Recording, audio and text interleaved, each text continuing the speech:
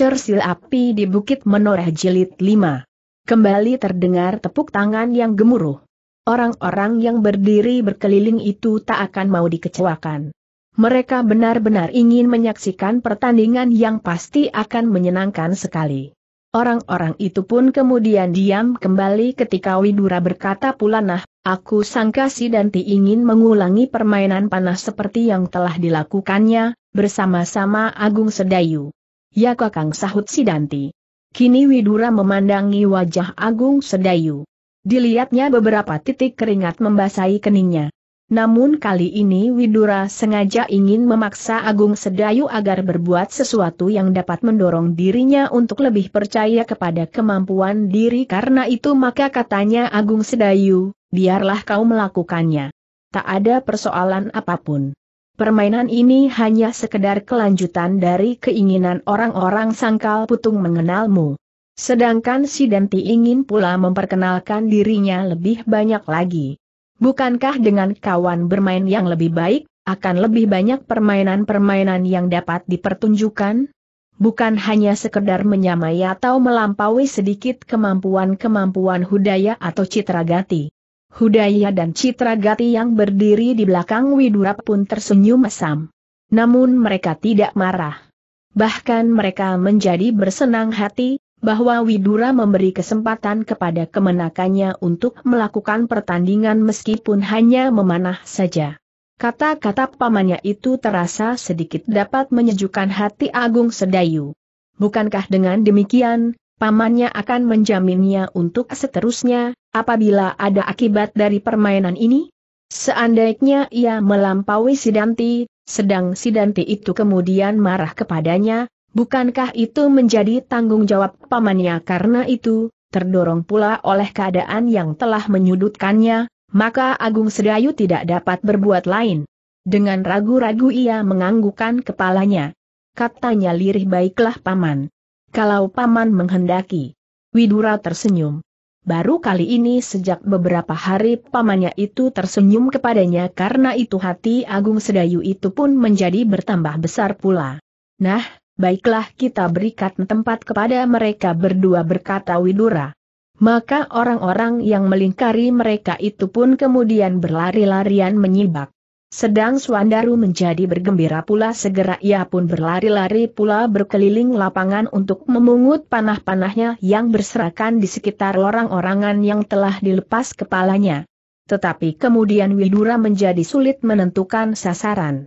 Tidak menarik lagi apabila mereka berdua harus mengenai orang-orangan itu, walaupun diayunkannya sekali. Mereka pasti akan dengan mudah dapat mengenainya. Dalam pada itu tiba-tiba berkatalah Swandaru Paman Widura, pertandingan ini baru dapat dimulai, seandainya Kakang Sidanti mampu berbuat seperti yang dilakukan oleh anak muda itu. Mengenai sasaran tiga kali berturut-turut di udara. Widura mengerutkan keningnya. Kata-katanya itu benar juga, tetapi belum seorang pun yang melihat, Agung Sedayu melakukannya selain Swandaru. Karena itu Widura ingin berbuat adil. Kedua-duanya harus mulai dengan sasaran dan kesempatan yang sama. Maka katanya Swandaru, apakah sasaran orang-orangan itu masih ada? Masih paman jawab Swandaru. Nah, ambillah bandulnya. Ikatlah bandul itu dengan tali yang agak panjang. Swandaru belum tahu benar maksud Widura meskipun demikian ia berjalan juga mengambil fandul orang-orangan yang masih terletak di ujung lapangan. Kemudian diambilnya sisa-sisa tali yang masih terserak-serak di sana-sini. Dengan tali itu maka bandul itu pun diikatnya. Sudahkah bandul itu kau ikat dengan tali bertanya Sonia? Swandaru mengangguk. Jawabnya bagaimanakah maksud Paman Widura dengan bandul ini? Peganglah ujung talinya dan putarlah bandul itu di atas kepalamu sahut Sonia. Ah jawab Swandaru perlahan-lahan. Jangan aku. Si Damti itu dapat membidikan panahnya ke arah perutku. Sonia, tersenyum. Katanya mereka adalah pemanah-pemanah yang baik. Mereka pasti tidak akan mengenaimu. Swandaru menggeleng. Peganglah jawabnya kalau mereka membidik sasaran itu, maka sasaran itulah yang akan dikenainya. Tetapi kalau si Danti itu membidik perutku, Marilah jawab Sonia berikanlah bandul itu, biarlah perutku yang dibidiknya. Maka kini Sonia lah yang memegang sasaran itu. Dipegangnya ujung tali yang lain, dan diputarnya bandul itu di atas kepalanya dalam lingkaran yang berjari-jari sepanjang tali yang lebih dari sedepa panjangnya, mendatar. Suandaru itu pun kemudian berlari-lari menepi, bahkan kemudian didekatinya Agung Sedayu yang telah memegang busurnya dan beberapa anak panah di dalam endongnya. Masing-masing mendapat kesempatan tiga kali berkata Widura ketika mereka sudah hampir mulai sampai hitungan ke-15. Sidanti pun telah mempersiapkan busurna pula dengan wajah tegang ia mengikuti bandul yang berputar di atas kepala Sonia. Ketika Widura mulai dengan hitungan pertama, maka si Dantilah yang lebih dahulu mengangkat busurnya. Sesaat kemudian terbanglah anak panahnya yang pertama, disebut dengan sorak-sorai penonton di sekitar lapangan. Anak panah itu tepat mengenai sasarannya langsung ikut berputar. Pula dengan bandul itu. Dengan sudut matanya si Danti melihat tangan Agung Sedayu. Dan tangan itu pun telah bergerak pua. Dan meluncurlah anak panah Agung Sedayu. Kali ini pun para penonton bersorak bergemuruh. Anak panah Agung Sedayu pun hinggap pula pada sasarannya. Si Dante itu pun menarik nafas panjang. Ia mengumpat di dalam hatinya setan itu mampu juga mengenainya. Tetapi hitungan Widura sudah sampai yang keenam karena itu maka si Dante itu pun sekali lagi mengangkat busurnya, dan sekali lagi anak panahnya meloncat dari busurnya. Kali ini pun anak panah si Dante itu tepat mengenai sasarannya, dan karena itu maka para penonton pun menjadi semakin riuh, bersorak dan bertepuk tangan. Dan sorak-sorai itu menjadi semakin membahana ketika anak panah Agung Sedayu seakan-akan tanpa mereka lihat, demikian saja telah melekat pada sasaran itu pula agaknya ketika mereka dang asik dengan anak panah si Danti, Agung Sedayu pun telah melepaskan anak panahnya yang kedua. Sekali lagi si Denti mengumpat pula. Katanya dalam hati aku harus mengenai untuk yang ketiga kalinya. Kalau anak itu mampu pula mengenai tiga kali, maka harus ditempuh cara yang lain untuk menentukan siapakah di antara kita yang akan menjadi pemanah terbaik. Tetapi si Denti itu menjadi terkejut. Tiba-tiba meledaklah sorak para penonton seperti akan meruntuhkan langit. Ketika ia mengangkat wajahnya, dilihatnya sebuah anak panah lagi telah ikut serta dalam putaran bandul di atas kepala Sonia. Agaknya dengan cepat Agung Sedayu telah melepaskan anak panahnya yang ketiga. Gila desisnya. Ketika itu ia mendengar Widura sudah mencapai hitungan yang ke-11. Dengan hati-hati si Denti mengangkat busurnya. Kali ini ia harus benar-benar dapat mengenainya dengan tepat. Kalau tidak, maka Sedayu sudah akan menyisihkannya pada babak yang pertama. Namun ternyata si Denti adalah pembidik yang baik. Panahnya yang terbang secepat kilat itu pun kemudian mengenai sasarannya pula, disambut oleh sorak yang semakin bergelora. Lapangan di muka banjar desa itu benar-benar seperti akan meledak. Agung Sedayu masih berdiri di tempatnya sambil mengamat-amati sasaran yang kini sudah tidak diputar lagi. Dengan kedua tangannya Sonia mengacung-acungkan bandul itu sambil berteriak enam panah. Widura itu pun mengangguk-anggukan kepalanya. Katanya kalian ternyata mempunyai kecakapan yang sama karena itu, biarlah kita adakan permainan yang lain. Namun aku belum tahu, apakah sasaran yang lebih baik dapat kita gunakan. Sidanti mengangguk-anggukan kepalanya, namun ia pun belum tahu sasaran apakah yang sebaiknya dipergunakan. Sedang Agung Sedayu lagi sibuk mendengarkan orang menyebut-nyebut namanya. Ia menjadi berbangga juga karenanya. Bahkan kemudian timbul juga keinginannya untuk mendapat pujian yang lebih besar dari para penonton itu. Untuk sesaat ia melupakan pula akibat-akibat yang bisa terjadi. Sebab ia telah membebankan seluruh tanggung jawab kepada pamannya. Terasa sesuatu menjalar di dalam dada Agung Sedayu. Belum pernah ia sepanjang umurnya mendapat pujian semeriah ini. Pada masa-masa kecilnya, ibunya selalu memujinya. Namun bukan karena ia berbuat sesuatu.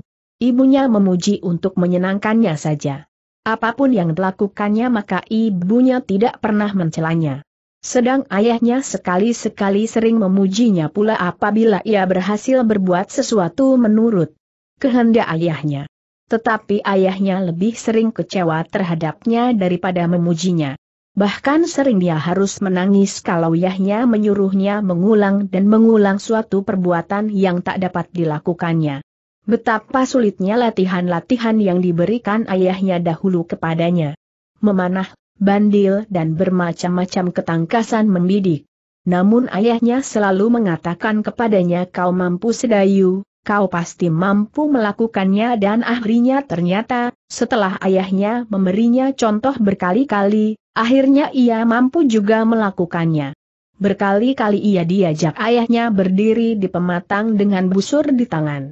Ia harus mendapatkan tiga ekor burung dengan tiga batang anak panah burung yang tidak boleh dikenainya di atas tanah atau dahan-dahan kayu. Burung itu seakan-akan harus dipetiknya dari udara.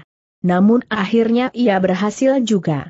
Kalau ia menangis karenanya, ayahnya berkata kepadanya Agung Sedayu, apakah kira-kira yang akan dapat kau lakukan? Kau tidak berani memegang tangkai pedang, apakah kau juga tidak mampu memegang busur? Kalau ibunya mendengar pertanyaan itu, maka ibunya selalu menjawab apakah dalam hidup ini tidak ada pekerjaan yang lebih baik dari berkelahi? Dan ayahnya menjawab tentu, tentu ada. Dan anak-anakku seharusnya tidak berkelahi. Tetapi mereka harus menjadi laki-laki jantan yang mampu menempatkan dirinya dalam segala keadaan. Ia harus menjadi seorang yang dapat melakukan pengabdian dalam segala bentuk. Mereka harus menghindari segala bentuk kekerasan, namun mereka pun harus dapat melenyapkan kekerasan. Kekerasan yang bertentangan dengan rasa pengabdiannya karena itu mereka pun harus dibekali pula dengan ilmu yang mungkin akan berguna bagi pengabdian mereka.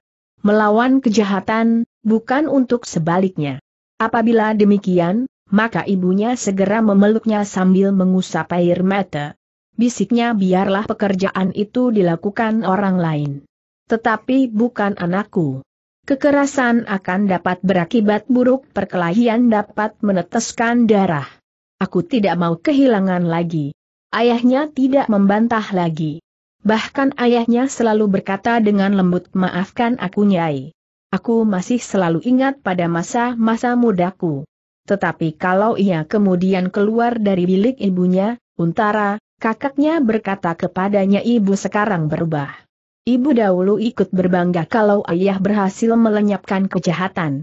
Melindungi orang-orang lemah dari penindasan. Ibulah yang sering menggosok pedang ayah dengan minyak dan getah-getahan untuk menjadikan pedang ayah mengkilat seperti bersinar.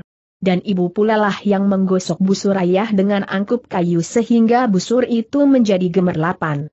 Suasana yang demikian itulah yang kemudian membentuknya menjadi seorang yang kerdil. Ibunya yang selalu memanjakannya dan menakut-nakutinya dengan segala macam cara. Menyekapnya dalam pelukannya.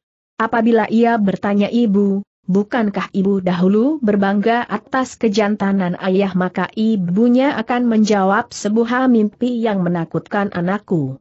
Itu terjadi pada masa-masa ayahmu masih muda. Ternyata kini ayahmu pun menyadarinya bahwa tak ada yang dapat dicapainya dengan pedang di tangan. Tak akan ditemui ketentraman dan kedamaian di hati, dan ayahnya pun pernah pula mengatakannya demikian. Namun menurut ayahnya, dunia masih tetap seperti keadaannya.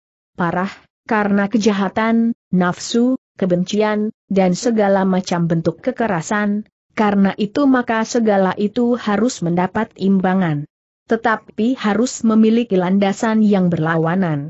Dan landasan itu adalah cinta kasih antar sesama.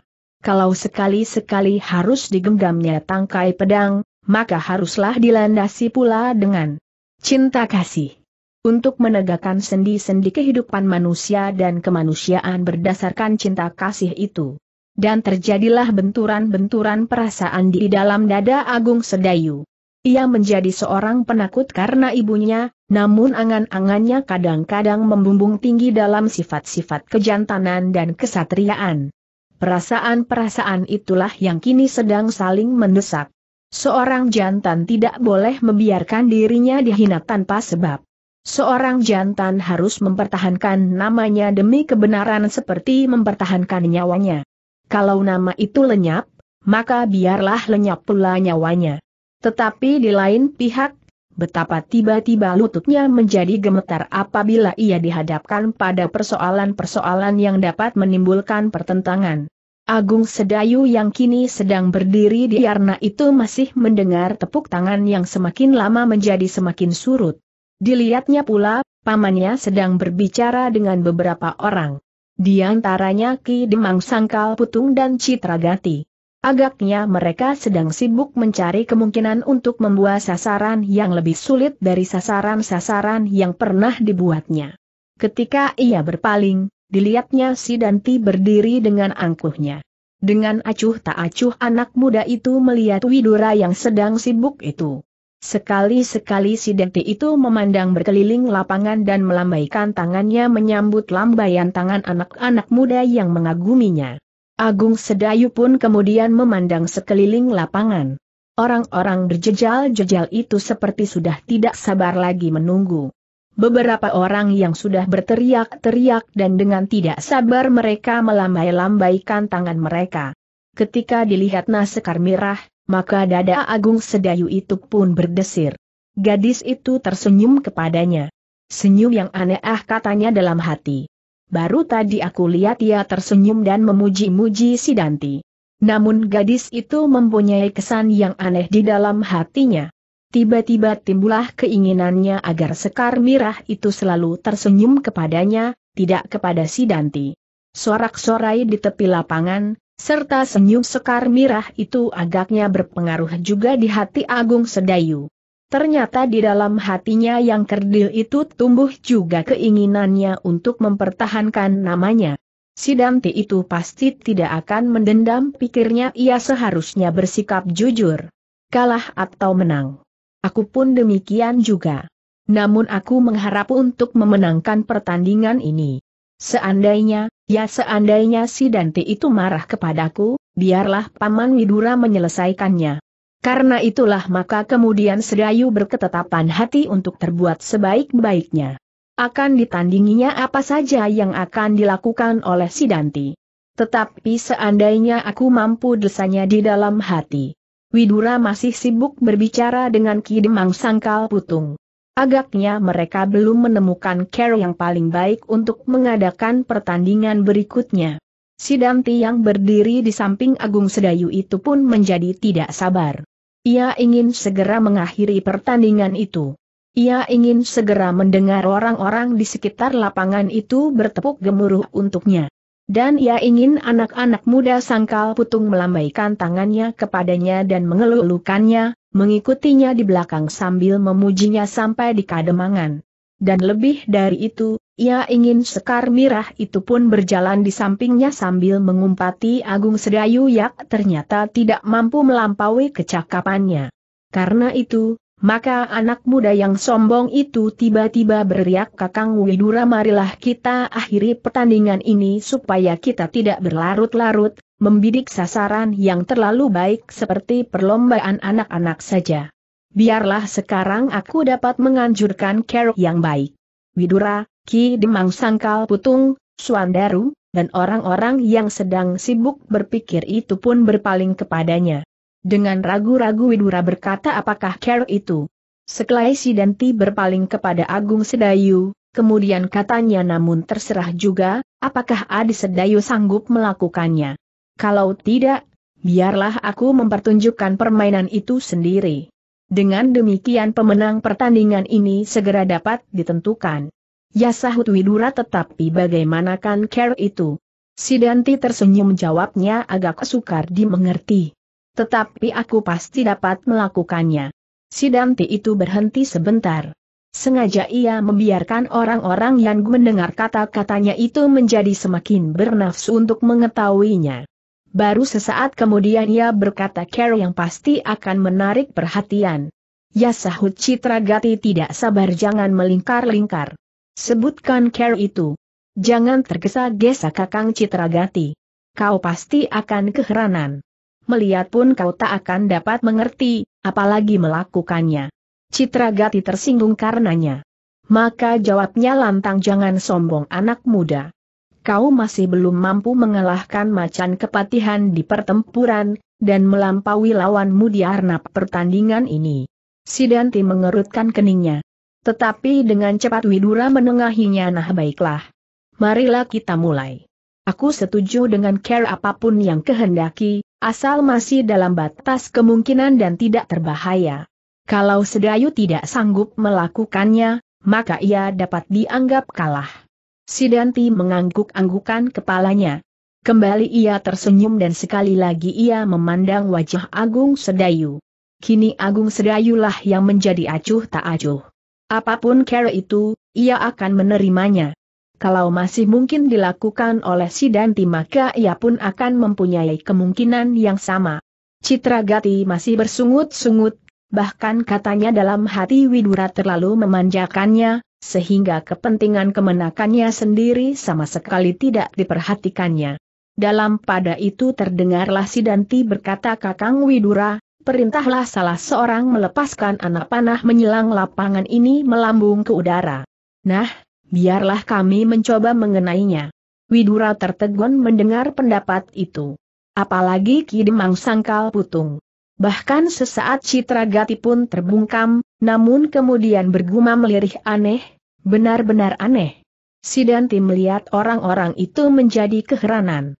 Karena itu, maka ia menjadi semakin menengadahkan dadanya. Dengan lantang ia berkata marilah, sebelum senja supaya aku masih dapat melihat anak panah yang terbang di udara itu. Widura tidak dapat berbuat lain dari menyetujuinya. Meskipun demikian sekilas ia menyambar wajah Agung Sedayu dengan pandangan matanya. Namun dilihatnya anak muda itu masih acuh tak acuh saja. Sehingga dengan demikian maka Widura itu pun tidak berkata apa pun kepadanya. Sidanti yang melihat Agung Sedayu sama sekali tidak terperanjat mendengar usulnya itu, maka ialah yang menjadi haran. Apakah anak itu tidak mendengar, atau anak itu pun akan acuh tak acuh terhadap pertandingan berikutnya? Dan teka-teki itu ternyata telah mendebarkan jantung Sidanti. Meskipun demikian, ia masih dapat berteriak nyaring di dalam hatinya ayolah Agung Sedayu, yang merasa menjadi pemanah terbaik di sangkal putung, tandingilah Sidanti. Widura itu pun KM mengumumkan kerok yang akan ditempuh atas usul Sidanti belum lagi mereka mulai dengan pertandingan itu, maka lapangan itu telah menjadi gempar. Para penonton yang keheran-heranan itu telah menyambut pengumuman Widura dengan tepuk tangan dan sorak-sorai yang bergelora. Hudayalah yang mendapat tugas untuk melepaskan anak panah menyelang garis bidik Sidanti dan Agung Sedayu. Ia sendiri tidak dapat mengerti, bagaimana care anak-anak muda itu akan membidikan anak panahnya. Namun Hudaya itu bergumam pula di dalam hatinya bukan suatu hal yang tak mungkin. Sebab laju anak panah itu dapat diperhitungkan. Tetapi kemudian Suandaru pun menjadi gelisah. Ialah yang pertama-tama berteriak-teriak sepanjang jalan, bahwa bukan si Sidantilah pemanah terbaik di Sangkal Putung. Namun sekarang ia mendengar sendiri usul Sidanti itu. Memanah sebatang anak panah yang melaju di udara, tentu lebih sukar mengenai sasaran kepala orang-orangan itu. Karena itu ia masih belum dapat menebak, apakah Agung Sedayu dapat juga berbuat sebaik Sidanti. Kalau kemudian Agung Sedayu tak mampu menandingi Sidanti, maka ia pun pasti akan mendapat banyak kesulitan. Agung Sedayu pasti akan marah padanya dan Sidanti akan semakin mentertawakannya. Karena itu, maka Suandaru itu pun mendekati Agung Sedayu yang berdiri tegak di tempatnya. Bisiknya perlahan-lahan bagaimanakah Tuan, apakah Tuan mungkin juga berbuat demikian? Agung Sedayu menggeleng lemah, jawabnya entahlah Suandaru. Suandaru menjadi semakin gelisah.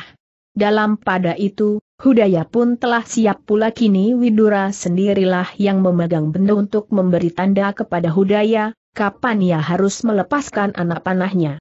Ketika kemudian Sidanti telah menganggukkan kepalanya, maka dibunyikahlah benda itu. Dan Hudaya menarik tali busurnya pula sambil tersenyum ia membidik anak panah yang terbang itu. Orang-orang yang berjejal-jejal di tepi lapangan itu menjadi diam kaku seperti beratus-ratus pating yang berjajar-jajar. Semuanya memandang ke arah anak panah Sidanti. Dan sesaat kemudian anak panah itu meloncat dari busurnya. Cepat, melampaui kecepatan anak panah Hudaya. Semua mata pun kemudian seakan-akan terpancang pada anak panah itu. Wajah-wajah yang tegang dan hati yang tegang pula. Yang terjadi kemudian, betapa lapangan itu menjadi menggelegar, seakan-akan seribu guntur meledak di langit. Tepuk tangan sorai-sorai dan bahkan di antara mereka melonjak-lonjak dan menari-nari. Anak-anak muda saling berteriak-teriak dan orang-orang tua mengangguk-anggukan kepala mereka. Luar biasa. Luar biasa desisnya. Citra Gati menggigit bibirnya, sedang Hudaya menggaruk-garuk kepalanya. Widura pun sesaat terpaku diam di tempatnya. Semua mati melihat, anak panah Sidanti itu seakan-akan menyongsong anak panah Hudaya dalam garis silang. Dan pada suatu titik yang condong, anak panah Sidanti berhasil mengenai ekor anak panah Hudaya, sehingga kedua anak panah itu pun kemudian terpelanting dan berubah arahnya masing-masing. Ketika Sidanti berpaling ke arah Sekar Mirah, dilihatnya gadis itu melonjak-lonjak sambil mengacung-acungkan tangannya. Dahsyat teriaknya. Sidanti tersenyum sambil mengangguk-anggukan kepalanya. Kemudian dia lambaikannya tangannya kepada orang-orang yang masih saja berteriak-teriak tak jemu-jemunya. Betapa mereka menjadi kagum. Seakan-akan mereka tak percaya bahwa hal yang demikian dapat terjadi. Dua batang anak panah saling berkejaran di udara. Tetapi ternyata hal itu telah terjadi di hadapan mata kepala mereka. Dan karena itu, maka mereka pun menjadi takjub. Gemuruh di lapangan itu pun kemudian mereda, ketika mereka melihat Widura mengangkat tangannya. Kemudian dengan tangannya pula Widura memberi isyarat kepada Hudaya untuk bersiap-siap. Kini pertandingan itu sampai pada penentuan terakhir. Semua orang itu pun kini terpaku memandang Agung Sedayu. Namun semua orang itu pun telah menjadi ragu-ragu pula. Apakah Agung Sedayu juga dapat melakukannya? Suandaru yang berdiri di belakang Agung Sedayu telah menjadi gemetar karenanya. Ia sama sekali tidak menyangka bahwa si Dante itu mampu berbuat demikian menakjubkannya. Dalam dada anak muda itu pun kini menjalar kebimbangan yang semakin lama semakin tebal. Karena itu, maka tubuhnya telah menjadi basah oleh keringat dingin yang mengalir tak putus-putusnya. Apakah kau sudah siap sedayu terdengar suara Widura perlahan-lahan? Terasa pula pada nada suaranya, keraguan-raguan terhadap kemenakannya itu. Agung sedayu itu pun mengangguk perlahan. Jawabnya sudah paman. Widura memandang kemenakannya itu dengan seksama. Seakan-akan ia menyesal juga atas pertandingan yang dilakukan itu. Kalau Agung Sedayu gagal, maka jiwanya yang kerdil itu akan menjadi semakin kerdil. Ia akan menjadi semakin merasa dirinya tak berharga. Sedang Sidanti telah melakukan suatu permainan yang mengagumkan. Meskipun demikian, pertandingan itu harus dilangsungkan. Kalah atau menang. Sedayu harus menghadapinya dengan jujur. Maka, setelah semuanya siap, dengan ragu-ragu Widura memukul bendenya sebagai pertanda bahwa Hudaya harus melepaskan satu anak panah lagi. Perlahan-lahan Hudaya mengangkat busurnya. Semua mata seakan-akan melekat pada anak panah itu. Dan sesaat kemudian, anak panah Hudaya yang kedua lepas dari busurnya, melambung ke udara seperti anak panahnya yang pertama. Kini semua metu dengan cepatnya berpindah ke tangan Agung Sedayu. Ternyata Agung Sedayu tidak membidik perlahan-lahan seperti Sidanti. Ia tidak menunggu anak panah Hudaya melampaui titik yang tegak lurus di hadapannya. Dengan tangkasnya ia menarik tali busurnya kuat-kuat, seakan-akan busur itu ingin dipatahkannya. Kemudian, semua orang menjadi tegang karenanya. Kini anak panah itu melontar dengan cepat, secepat petir menyambar di langit. Para penonton tidak mendapat kesempatan yang cukup untuk melihat anak panah itu. Namun yang terjadi kemudian telah memukau mereka. Bahkan karena itu, maka lapangan itu menjadi sunyi senyap. Seandainya sebatang jarum terjatuh, maka suaranya pasti akan mengejutkan seperti suara guru. Yang terdengar kemudian adalah suatu derak di udara. Kemudian sepi kembali. Sesepi padang yang tak berpenghuni. Beratus-ratus pasang mata tak sempat berkedip, sedang beratus-ratus mulut menjadi ternganga karenanya. Seperti orang bermimpi mereka melihat anak panah agung sedayu secepat tati menyambar anak panah hudaya tepat di tengah-tengah. Demikian kerasnya anak panah. Agung sedayu sehingga anak panah hudaya menjadi retak di tengah-tengah, dan terlontar ke samping terbawa oleh anak panah agung sedayu. Demikian kedua anak panah itu jatuh di tanah, mak semua orang yang terpukau itu seakan-akan terbangun dari mimpinya. Dengan serta-merta maka meledaklah sorak-sorai mereka. Seperti gemuruhnya gunung runtuh menimpa ombak lautan yang dahsyat menggelegar beruntun susul menyusul. Tidak saja anak-anak, namun orang-orang dewasa, anak-anak muda sangkal putung pun berloncat-loncatan di lapangan itu. Menari-nari dan melemparkan apa saja ke udara. Caping-caping mereka, ikat pinggang selebar telapak tangan, tongkat-tongkat, dan bahkan terompah-terompah mereka. Suandaru yang berdiri di belakang Agung Sedayu melihat pula penturan kedua anak panah itu. Terasa dadanya menjadi bergetar seakan-akan benturan anak panah itu terjadi di dalam rongga dadanya. Ia melihat pula kedua anak panah itu jatuh di tanah. Dan dengan serta-merta, ia berlari sekencang-kencangnya, memungut kedua batang anak panah itu. Sambil berlari-lari kembali anak yang gemuk itu berteriak-teriak sekeras-kerasnya seperti sedang mabuk tuak. Katanya lihat, lihat anak panah Paman Hudaya dikenai di tengah-tengah sehingga menjadi retak karenanya. Widura pun menjadi terpaku di tempatnya. Terasa sesuatu berdesir di dadanya. Bahkan kemudian mulutnya seakan-akan menjadi terbungkam. Dari tempatnya berdiri, ditatapnya wajah Agung Sedayu. Dan seakan-akan terpancar dari wajah itu, bayangan wajah ayahnya. Kisah Dewa, Ipar Widura itu. Wajah itu pun tampaknya memancarkan kerendahan hati yang tulus karena itu maka timbullah iba hatinya, kalau selama ini anak itu dibiarkannya kecemasan tentang nasibnya dan tiba-tiba pula terpancarlah janji di dalam hatinya kalau aku mampu, biarlah aku mencoba menjadikannya seorang anak muda yang berhati jantan.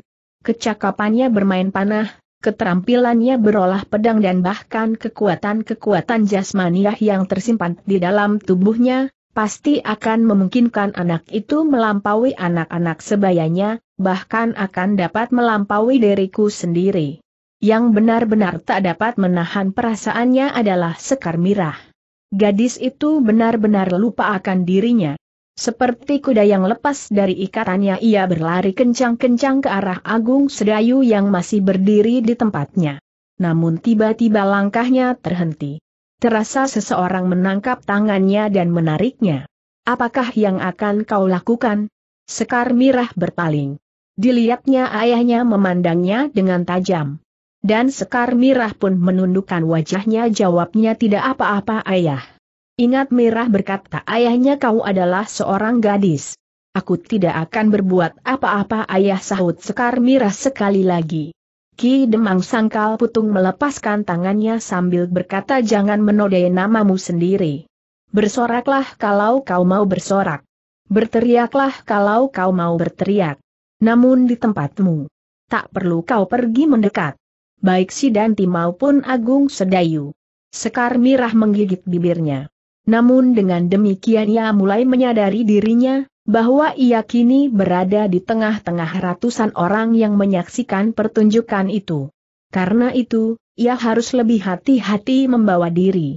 Meskipun demikian ia berkata juga ayah, aku hanya ingin mengucapkan selamat atas kemenangan Agung Sedayu. Siapa bilang ia menang semuanya yang mendengar pertanyaan itu menjadi terkejut, sehingga serentak mereka berpaling.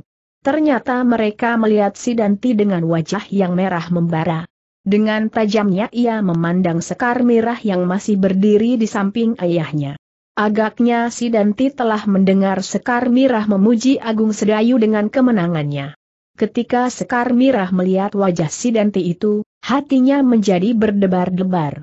Namun ia merasa hak berbuat apa pun sekehendaknya karena itu, maka ia tidak mau dibentak-bentak oleh Sidanti. Tetapi sebelum ia menjawab, terasa ayahnya menggamitnya sambil berbisik diamkan anak itu. Sekar Mirah memandangi wajah ayahnya dengan kecewa. Tetapi ia tidak bernai melanggarnya.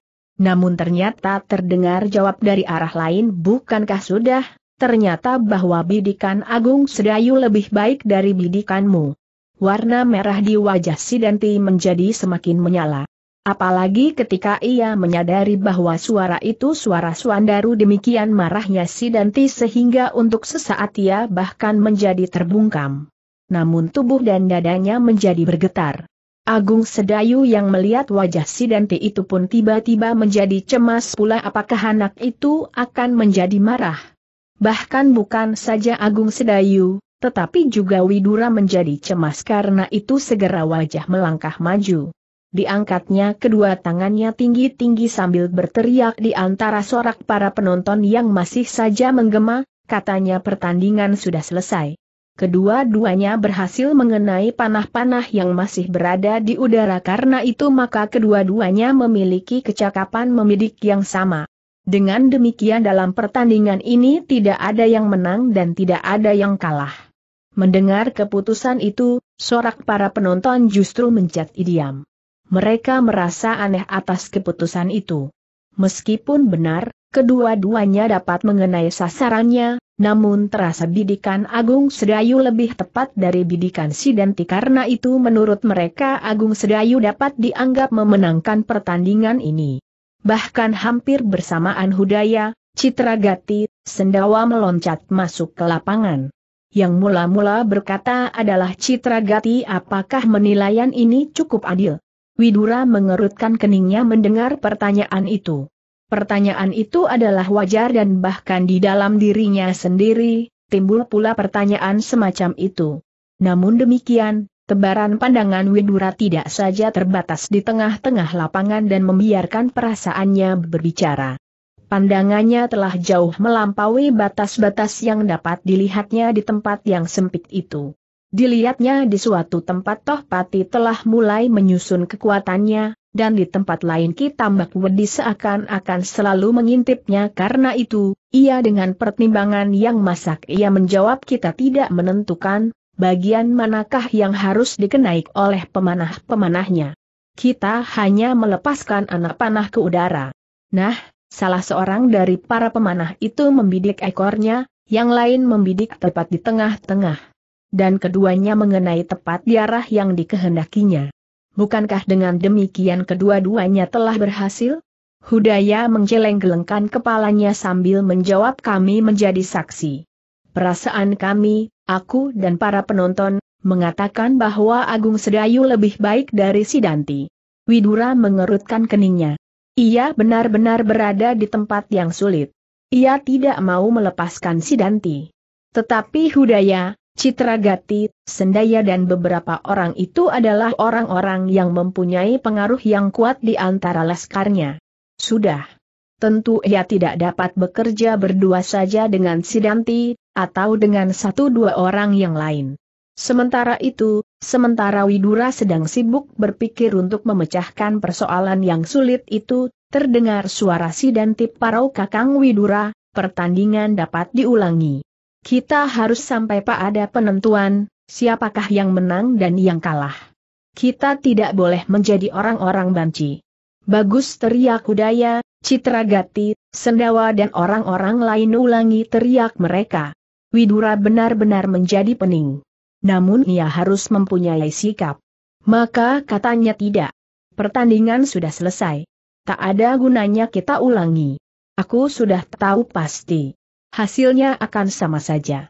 Keduanya akan mendapat nilai yang sama. Tidak teriak Sidanti. Aku menuntut perlakuan yang adil. Tidak ada yang menentukan arah didikan pada panah yang dilepaskan oleh Kakang Hudaya.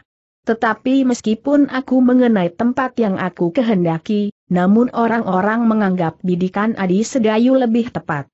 Aku ingin menghilangkan kesan itu. Widura menggeleng. Sudah aku katakan. Aku akan menyelenggarakannya lain kali sekarang teriak si Danti pula. Suasana segera meningkat menjadi semakin tegang. Beberapa langkah Sidanti maju mendekati Widura dengan wajah yang merah menyala. Sedang dari arah lain, Citra Gati, Hudaya, Sendawa, Sonia, dan beberapa orang lagi pun maju pula wajah mereka tidak kalah tegangnya dengan wajah Widura sendiri. Sesaat Agung Sedayu menjadi bingung melihat perkembangan keadaan. Ia melihat Sidanti menjadi marah, dan dilihatnya pula Hudaya dan kawan-kawannya pun menjadi tegang. Sehingga setiap kemungkinan akan dapat terjadi karena itu maka tiba-tiba berkata Paman, seandainya pertandingan ini diadakan lagi, maka aku tidak akan dapat mengikutinya. Kata-kata itu seolah-olah merupakan penggerak yang menggerakkan setiap kepala untuk berpaling ke arahnya. Sidanti pun memandang wajah Agung Sedayu dengan tajamnya dan bahkan Citra Gati yang tidak dapat menahan perasaannya berteriak kenapa? Sedayu menjadi berdebar-debar. Jawabnya aku tidak dapat melakukan permainan yang lebih baik. Seandainya Kakang Sidanti mempunyai cara yang lain, maka pasti aku tidak dapat mengikutinya. Aku sudah sampai pada puncak kecakapan yang ada padaku. Bohong teriak Sidanti dan Hudaya hampir bersamaan, meskipun maksudnya berbeda-beda, sehingga keduanya menjadi terkejut karenanya. Namun yang meneruskan kata-katanya hanyalah Sidanti kau hanya akan mempertahankan keadaan serupa ini. Di mana orang-orang mempunyai kesan bahwa kau adalah pemanah yang lebih baik daripadaku. Agung Sedayu menjadi bingung karena itu ia tidak menjawab sehingga yang menjawab kemudian adalah Widura Sedayu berkata benar. Kalau si Danti masih mungkin melakukan permainan yang lebih baik lagi, maka Sedayu akan kalah. Tidak adil teriak Citra Gati. Tidak adil teriak si Danti kesan orang-orang akan menjadi semakin menguntungkannya. Seolah-olah ia sekedar mengalah untuk memberi kesempatan kepadaku. Tidak. Bukan perlakuan jantan bagi si Danti. Sidanti tidak sekedar ingin mendapat perlakuan yang cengeng Sidanti adalah seorang anak muda yang jantan. Kata-kata itu benar-benar berkesan bagi Widura bahkan Hudaya, Citra Gati dan yang lain-lain pun terdiam pula karenanya. Betapapun mereka harus mengakui kelebihan Sidanti daripada mereka, meskipun apabila mereka dihadapkan pada suatu keadaan yang memaksa, mereka tidak takut pula melawan Sidanti. Lapangan itu tiba-tiba menjadi hening. Dengan hati yang semakin tegang, mereka, para penonton itu melihat keadaan yang semakin tegang pula. Beberapa orang laki-laki telah mendekat mereka dan membentuk sebuah gelang memagari mereka yang sedang bertengkar. Yang berkata kemudian adalah Widura tegas tak akan ada pertandingan lagi. Ada sahut Sidanti. Sekali lagi Widura menjawab lebih keras tidak. Tetapi tiba-tiba hati Widura itu berdesir. Di tengah-tengah lingkaran orang-orang yang melihat keributan itu, tiba-tiba terjatuh sebuah benda yang benar-benar mengejutkannya. Sepotong besi yang lengkung hampir berbentuk lingkaran. Setan Widura mengumpat di dalam hati. Ki Tambak Wedi itu ada pula di sini. Ketika ia memandang wajah Sidanti, dilihatnya anak muda itu tersenyum-senyum yang sangat menyakitkan hati. Sementara itu beberapa orang menjadi heran juga. Namun tak seorang pun di antara mereka yang melihat, siapakah yang telah melemparkan sepotong besi di tengah-tengah mereka. Meskipun demikian, beberapa orang menjadi berdebar-debar. Meskipun mereka tidak tahu arti sepotong besi itu selain Widura, namun mereka merasakan sesuatu yang tidak wajar. Ternyata benda itu sangat berpengaruh bagi Widura. Ia tidak tahu pasti maksud Ki Tambak Wadi, namun ia dapat menduga bahwa Ki Tambak Wadi telah memperkuat pendapat muridnya. Dengan demikian maka Widura itu berpikir dan berpikir sehingga kepalanya hampir meledak karenanya. Ditinjaunya segenap segi-segi. Kalau ia mengadakan pertandingan sekali lagi maka persoalannya tidak akan terpecahkan apalagi si Denti merasa bahwa ada semacam perlakuan yang tidak wajar terhadapnya. Menang atau kalah, si Denti pasti akan kecewa. Kalau ia kalah, maka darahnya pasti akan semakin menyala, tetapi kalau ia kalah, maka ia akan menyangka bahwa Agung Sedayu tidak bersungguh-sungguh. Tetapi ternyata guru Sidanti itu telah ikut campur pula bagi Widura yang sebaik-baiknya adalah bubar. Pulang ke Kademangan. Namun Sidanti menolak dan gurunya memperkuat. Sehingga untuk menjaga ketenangan Kademangan, apakah ia harus memenuhi permintaan Sidanti yang juga merupakan permintaan dari Hudaya, Citragati dan yang lain-lain, meskipun dalam perhitungan yang berlawanan? Widura menarik nafas dalam-dalam. Hampir saja ia hanyut oleh kehendak orang-orang yang sedang kehilangan kejernihan pikiran itu. Hampir ia kehilangan ketetapan hati sebagai seorang pemimpin. Dalam keadaan yang demikian itu, ketika dada Widura sedang bergetar karena benturan-benturan pertimbangannya, maka sekali lagi orang-orang yang berdiri melingkar itu terkejut. Kali ini mereka melihat sebuah cemeti kuda melenting dan jatuh hampir menimpa Widura. Widura pun terkejut pula karenanya. Tetapi tiba-tiba jantungnya serasa berhenti. Dengan nanar ia memandang berkeliling. Namun yang dilihatnya adalah wajah-wajah yang tegang dan penuh kecemasan. Widura tidak berhasil melihat seseorang yang dicarinya. Ia tidak berhasil menemukan orang yang dapat disangkanya Kiai Gringsing. Namun ia pasti, bahwa orang aneh itu hadir pula di tengah-tengah lapangan. Cemeti kuda itu telah memberitahukan kepadanya, bahwa orang itu ada di dekatnya. Dengan demikian, maka pertimbangan-pertimbangan Widura yang hampir condong dan roboh sama sekali itu-itu, seakan-akan menemukan kekuatannya yang baru. Ia tahu benar maksud Kiai Gringsing itu. Dan ia percaya bahwa Kiai Gringsing tidak hanya sekedar mengganggunya seperti biasanya. Dengan cemetinya itu Kiai Gringsing pasti ingin berkata kepadanya jangan hiraukan orang yang bergelang besi itu, biarlah ia menjadi urusanku. Dan kini sekali lagi Wedura mengangkat wajahnya ia melihat Sidanti keheran-heranan melihat cemeti itu. Juga Hudaya, Citragati dan yang lain-lain. Namun ketika ia memandang Agung Sedayu dilihatnya wajah Agung Sedayu tidak lagi sepucat tadi. Agaknya Agung Sedayu pun mengenal cemeti itu pula dan tanpa disengaja, hatinya menjadi tenang. Kiai Gringsing yang belum dikenalnya baik-baik itu, telah mencengkam kepercayaannya, sehingga seakan-akan orang aneh itu dapat dipakainya sebagai sandaran apabila terjadi sesuatu. Ketegangan itu kemudian dipecahkan oleh suara widura tegas dan lantang tidak ada apa-apa lagi. Itulah keputusanku. Terdengar gigi si Danti gemeretak. Betapa dadanya dibakar oleh kemarahan. Dengan demikian, maka setiap orang disangkal putung dan setiap orang yang melihat pertandingan itu, termasuk kawan-kawannya sendiri, akan tetap berkesan bahwa Agung Sedayu telah mengalahkannya. Karena itu maka sekali lagi ia mencoba memaksakan kehendaknya, katanya Kakang Widura, aku minta pertandingan diadakan lagi. Widura menggeleng, namun sebelum ia menjawab terdengarlah Citra Gati berkata apakah keberatannya Kakang. Marilah kita melihat keadaan dengan jujur. Siapa yang kalah biarlah ia kalah dan siapa yang menang biarlah ia menang. Setan atau malaikat. Dengan demikian kita melihat kenyataan dengan pasti. Widura mengerutkan keningnya. Dengan tajam ia memandang Citra Gati. Jawabnya apakah tujuan kita berada di sangkal putung ini? Apakah kita hanya sekedar ingin mengetahui siapakah di antara kita yang paling sakti dan paling cakap?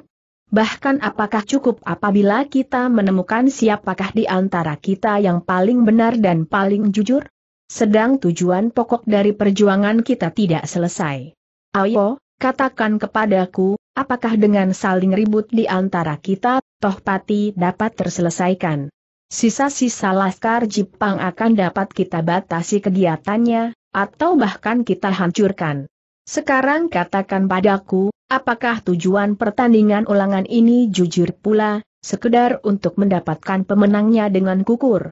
Atau karena keinginan kita sekalian untuk menunjuk kelemahan orang lain dan menghinakannya?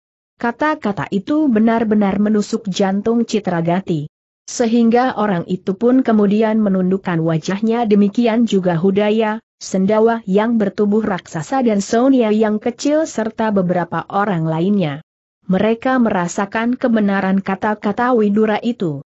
Sebenarnya lah bahwa pertandingan ulangan itu pun tidak dilakukan dengan tujuan jujur karena itu, maka mereka pun menjadi terdiam karenanya. Tetapi ternyata kata-kata Wi itu tanpa disengaja telah menjadikan si Danti makin marah. Ia merasa bahwa di dalam kata-kata itu tersembunyi pengertian-pengertian yang seakan-akan memastikan bahwa Agung Sedayu akan dapat memenangkannya pula lebih-lebih menurut anggapan Citra Gati karena itu, si Danti tidak mau diam. Apalagi ketika diingatnya bahwa gurunya ada pula di tempat itu. Katanya kenapa Kakang Widura takut melihat kenyataan seandainya Adi Sedayu itu tak mampu menandingi kecakapanku, Sekali lagi dada Widura berdesir. Namun ia harus menahan diri.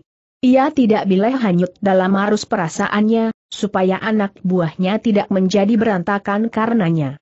Tetapi sebelum ia menjawab tiba-tiba meloncatlah seorang gadis yang telah kehilangan pengamatan diri. Digoncang-goncangnya tubuh Agung Sedayu sambil berteriak kenapa Tuan diam saja?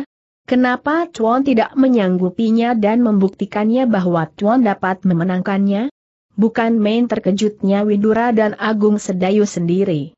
Tetapi Hudaya, Citra Gati dan Sendawa sama sekali tidak terkejut.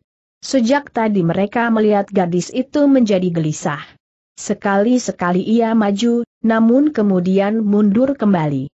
Mereka melihat gadis itu meremas-remas tangannya sendiri dan bahkan menghentak-hentakan kakinya. Tetapi yang terkejut sekali adalah Kidemang Sangkal Putung. Dengan cepatnya ia meloncat dan menarik anaknya itu ke tepi. Dengan marahnya ia membentak Mirah, apakah kau sudah menjadi gila?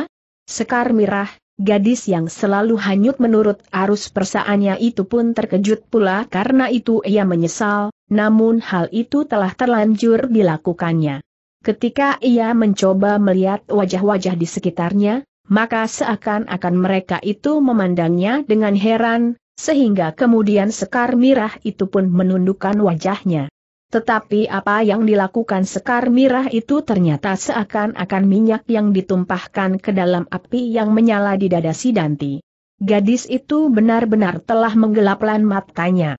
Gadis yang selalu mengganggu perasaannya itu karena itu tiba-tiba ia berteriak aku akan melangsungkan pertandingan. Disetujui atau tidak disetujui. Tidak ada sasaran yang lebih baik yang harus kita kenai. Ayo sedayu bersiaplah. Sasaran itu adalah kita masing-masing.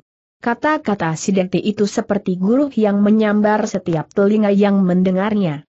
Kata-kata itu jelas mereka mengerti maksudnya.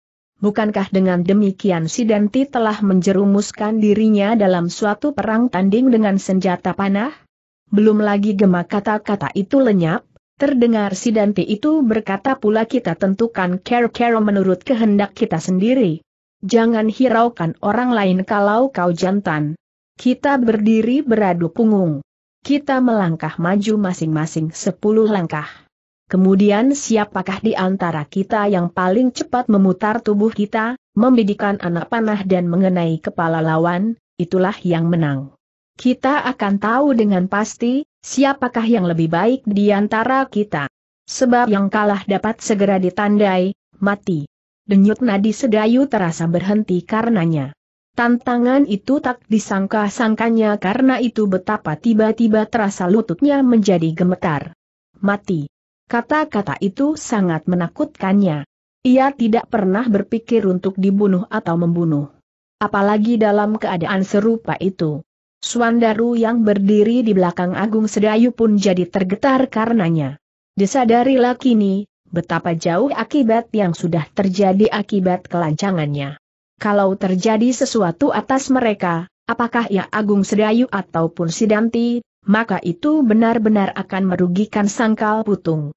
Sidanti telah berhasil menyelamatkan hidupnya pada saat ia melawan Tohpati, dan Sedayu pun selamat pula meskipun ia berpapasan dengan pandai besi sendang gabus, alap-alap Jalatunda berempat. Dan sekarang, salah seorang dari mereka harus mati karena tangan keluarga sendiri. Dengan demikian maka Suandaru itu pun menyesal tak habis-habinya. Tetapi ia sama sekali tidak tahu, bagaimana ia harus memperbaiki kesalahannya. apalagi sekali-sekali ia melihat ayahnya memandanginya dengan penuh penyesalan pula. Widura masih tegak seperti patung. Kata-kata Sidenti itu, tak disangka-sangkanya. Juga Hudaya, Citragati dan kawan-kawannya pun tidak menyangka. Namun Widura memakluminya, bahwa Sekar Mirahlah sebab langsung dari keputusan Sidenti itu. Ketika Widura itu memandang Agung Sedayu, ia melihat anak itu gemetar. Beberapa orang lain pun melihat pula namun mereka mempunyai sangkaan lain.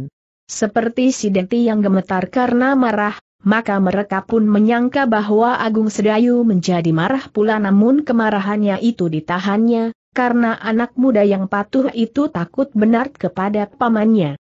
Dengan demikian maka semua mata kini memandang kepada Widura, seakan-akan semua menunggu keputusan apakah yang akan diambilnya.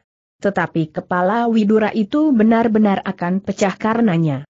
Ia kini tidak tahu Bagaimana ia akan mengatasinya? Apakah ia sendiri harus mengambil keputusan yang dapat berakibat dirinya sendiri yang harus berkelahi seperti beberapa waktu yang lalu? Dan ternyata pula terdengar si Danti berkata kali ini aku tidak mau dihalang-halangi. Siapa pun yang mencoba mencegahnya, orang itulah yang akan menjadi lawanku. Sekarang atau kapan pun. Lapangan itu benar-benar dicengkam oleh ketegangan tak seorang pun yang berani berkata sepatah kata pun. Mereka melihat wajah-wajah yang kaku. Widura, Hudaya, Citragati, Agung Sedayu, Suandaru, Ki Demang Sangkal Putung, Sekar Mirah dan Sidanti sendiri. Bahkan wajah Sidanti itu kini benar-benar telah menjadi merah biru. Widura yang tahu benar perasaan Agung Sedayu, menjadi semakin bingung. Kalau saja anak itu berani dan menghadapinya dengan tatak, maka ia yakin bahwa si Danti tak akan dapat mendahuluinya. Widura itu yakin benar, bahwa anak-anak kisah dewa telah mewarisi keahliannya dalam berbagai senjata bidik. Tetapi hati Agung Sedayu adalah hati yang kerdil. Meskipun demikian, apabila keadaan memaksa ia harus membesarkan hati anak itu ia harus mencoba meyakinkan bahwa ia akan menang. Dan keputusan itu akhirnya menjadi bulat di dada Widura. Ia tidak melihat persoalan lain lagi. Namun ia hanya ingin merubah tata cara pertandingan itu. Tidak sampai mati. Dan yang harus dikenai bukanlah tempat-tempat yang berbahaya. Namun apakah si Danti yang menjadi seolah-olah gila itu mau menerimanya dan apakah meskipun sudah diperlunak itu Agung Sedayu berani menghadapinya? Dada Widura menjadi semakin berdebar-debar ketika ia mendengar si Danti berteriak minggir. Pertandingan akan dimulai. Ketika semua orang menyibak, maka Agung Sedayu menjadi semakin takut. Dipandangnya wajah pamannya, dan hampir-hampir ia berteriak memanggilnya. Hampir ia kehilangan rasa malunya untuk sedikit saja mempertahankan namanya yang selama ini menjadi semakin dikagumi. Lingkaran yang mengitari mereka yang sedang dibakar oleh ketegangan itu, semakin lama menjadi semakin luas. Sementara itu si Danti sudah bergerak setapak maju. Namun Widura dengan wajah yang tegang kaku masih berdiri di tempatnya.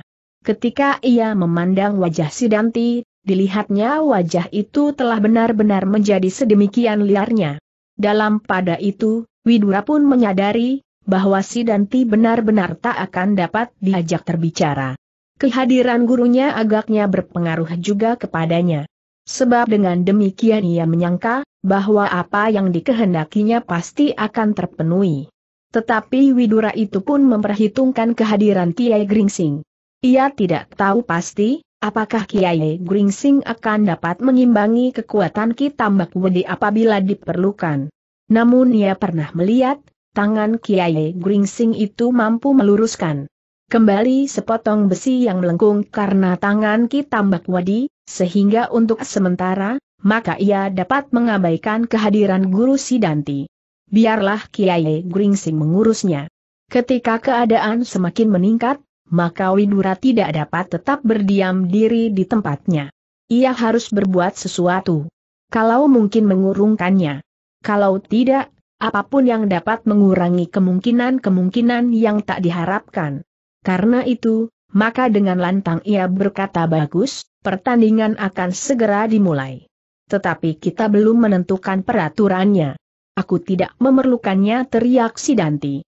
Aku sudah menetapkan peraturan itu apakah hakmu bertanya Widura? Akulah yang berkepentingan jawab Sidanti. Aku yang berkuasa di sini sahut Widura tidak kalah lantangnya aku akan membuat peraturan. Tidak jawab Sidanti pula apa pun yang akan kau lakukan, aku tetap pada pendirianku. Aku akan membidik jantung Agung Sedayu dan membunuhnya. Meskipun Agung Sedayu tidak melawan. Dada Widura kini telah bergetar semakin cepat. Sedemikian peningnya kepalanya, sehingga ia hampir muntah karenanya. Kini ternyata Sidanti tak dapat diajaknya berbicara karena itu maka ia harus berbuat sesuatu adalah tidak adil apabila dibiarkannya Agung Sedayu mati ketakutan. Apakah kau sudah tetap pada pendirianmu bertanya Widura kepada Sidanti? Jangan hiraukan aku kemudian kepada Agung Sedayu ia berkata aku akan berdiri di belakangmu beradu punggung. Aku mengharap seseorang menghitung sampai hitungan yang ke-10. Nah, kemudian kau atau aku yang akan mati. Widura telah benar-benar kehilangan kesempatan maka tak ada yang dapat dilakukan kecuali mencoba menyelamatkan Agung Sedayu karena itu dengan langkah yang panjang ia berjalan di samping Agung Sedayu. Widura itu pun berhenti sesaat. Ditatapnya wajah kemenakannya itu dengan penuh iba. Namun dari mulutnya meluncurlah kata-katanya perlahan sekali matilah kau pengecut. Apa pun yang akan kau lakukan, kau pasti akan mati di lapangan ini. Satu-satunya jalan untuk menyelamatkan dirimu adalah melawan. Melawan. Mendahuluinya, membidik dadanya, atau kepalanya atau bahu kanannya. Kalau kau tak sampai hati untuk membunuh, maka yang dapat kau kenai adalah tangannya yang memegang busur itu. Secepatnya, sebelum panahnya menembus otakmu. Kalau kau tak mampu melakukannya, maka otakmu lah yang akan dirobeknya dengan anak panahnya, dan jangan mencoba menyebut nama Kisadoa. Itu hanya akan menodai nama kakak iparku. Hanya mulut yang jantan sajalah yang pantas menyebut namanya. Mendengar kata-kata pamannya, dada Agung Sedayu yang sudah gemetar menjadi semakin gemetar. Namun tiba-tiba terasa sesuatu yang aneh di kepalanya. Ia akan mati. Dan sebenarnya ia takut sekali kepada mati itu. Sedang kini, tanpa diduganya ia dihadapkan pada kekuasaan maut. Namun pamannya itu berkata satu-satunya jalan untuk menyelamatkan dirimu adalah melawan. Kata-kata itu melingkar-lingkar saja di dalam benaknya. Betapa ia takut menghadapi lawannya, namun betapa ia lebih takut lagi kepada maut karena itu maka tiba-tiba ia dihadapkan pada dua pilihan mati atau melawan. Tubuh Agung Sedayu masih bergetar. Namun tiba-tiba ia mengangkat wajahnya dipandangnya wajah Sidanti yang menyala. Sesaat getar di dadanya menjadi bertambah cepat. Namun ketakutannya kepada maut itu telah semakin mendesaknya. Ia tidak mau mati, apalagi di tengah-tengah lapangan di hadapan beratus-ratus orang, dan di antaranya adalah Sekar Mirah terasa sesuatu bergolak di dadanya dan karena itulah maka tubuhnya menjadi semakin bergetar. Namun kini ia menemukan suatu sikap untuk menyelamatkan dirinya. Dan jalan satu-satunya adalah melawan. Tak ada jalan lain. Kalau ia masih mungkin melarikan dirinya, maka ia akan lari dan bersembunyi. Namun ia tahu pasti, demikian ia melangkah, maka anak panah Sidanti pasti akan hinggap di punggungnya karena itu Agung Sedayu tidak berani melarikan diri. Sedayu pun terkejut ketika terdengar suara Sidanti menggelegar di telinganya Ayo Sedayu. Siapkan busurmu. Sedayu mengangkat wajahnya dan tiba-tiba terdengar ia berkata dengan suaranya yang bergetar suandaru, berilah aku anak panah. Semua yang mendengar kata-kata itu terkejut dan ketegangan pun menjadi semakin memuncak. Mereka segera akan menyaksikan suatu perang tanding antara dua anak muda yang mereka anggap memiliki kekuatan-kekuatan di luar kekuatan kebanyakan orang, sehingga dengan demikian maka perang tanding ini pasti akan menjadi sangat dahsyatnya. Widura pun terkejut mendengar jawaban Sedayu. namun tiba-tiba dadanya pun bergelora. Ia menjadi terharu melihat Agung Sedayu berusaha untuk mempertahankan hidupnya. Tetapi meskipun demikian, perasaan khawatir merayap-rayap di dalam dada Widura meskipun Agung Sedayu kemudian berusaha untuk menyelamatkan dirinya, namun betapapun juga, hatinya yang kerdil pasti masih akan mengganggunya. Dengan demikian, Widura kembali menjadi ragu-ragu apakah Agung Sedayu akan berhasil menyelamatkan dirinya. Tetapi seandainya terjadi sesuatu, maka lebih baik apabila Agung Sedayu itu menghadapinya secara jantan daripada mati seperti kelinci betina. Suandaru pun dengan tangan yang gemetar pula menyerahkan sebatang anak panah kepada Agung Sedayu. Betapa ia menyesal. Namun semuanya telah terjadi, dan kini ia tinggal menunggu akibat dari perbuatannya. Sementara itu si Danti pun telah memegang sebatang anak panah pula kini ia maju lagi beberapa langkah. Kemudian ia berkata dengan lantang siapakah yang akan mengucapkan hitungan sampai sepuluh. Lapangan itu menjadi hening seketika. Tak seorang pun yang menjawab karena itu si Danti mengulangi lebih keras lagi ayo, siapakah yang akan mengucapkan hitungan? Kembali lapangan itu tenggelam dalam kesepian. Gema suara Sidanti itu pun kemudian lenyap pula sehingga dengan demikian Sidanti menjadi semakin marah karenanya. Ia merasa seakan-akan semua orang di lapangan itu sama sekali tidak menghargainya. Karena itu tiba-tiba ia berkata ayo Adi Sedayu. Suap payah aku tidak disangka curang, kaulah yang mengucapkan hitungan itu. Agung Sedayu tidak dapat menjawab kata-kata itu. Ia sedang sibuk berjuang melawan perasaannya sendiri yang saling berbenturan. Namun Sidanti tidak menunggu Agung Sedayu menjawab ia langsung berjalan mendekati anak muda itu dan berdiri di belakangnya beraduk punggung. Sementara itu, sepasang mata yang tajam di antara para penonton, memperhatikan perkembangan keadaan dengan seksama. Ia tersenyum ketika melihat Sedayu menerima sebatang anak panah dari Suandaru. Ia tersenyum pula ketika melihat Sedayu menempatkan anak panah di tali busurnya. Namun meskipun demikian, orang yang bermata tajam itu dapat menilai apakah kira-kira yang akan dilakukan oleh Agung Sedayu. Seandainya Agung Sedayu itu berhati jantan, maka kekalahannya tak usah dikhawatirkan. Namun di dalam dada orang itu bergolaklah perasaan seperti perasaan yang tersimpan di dalam dada Widura dan karena itu pula ia menjadi cemas akan nasib anak muda itu. Dalam pada itu, Sidanti sudah tidak sabar lagi. Ia sudah berdiri tegak di belakang Agung Sedayu beradu punggung. Namun Agung Sedayu masih belum mulai dengan hitungannya.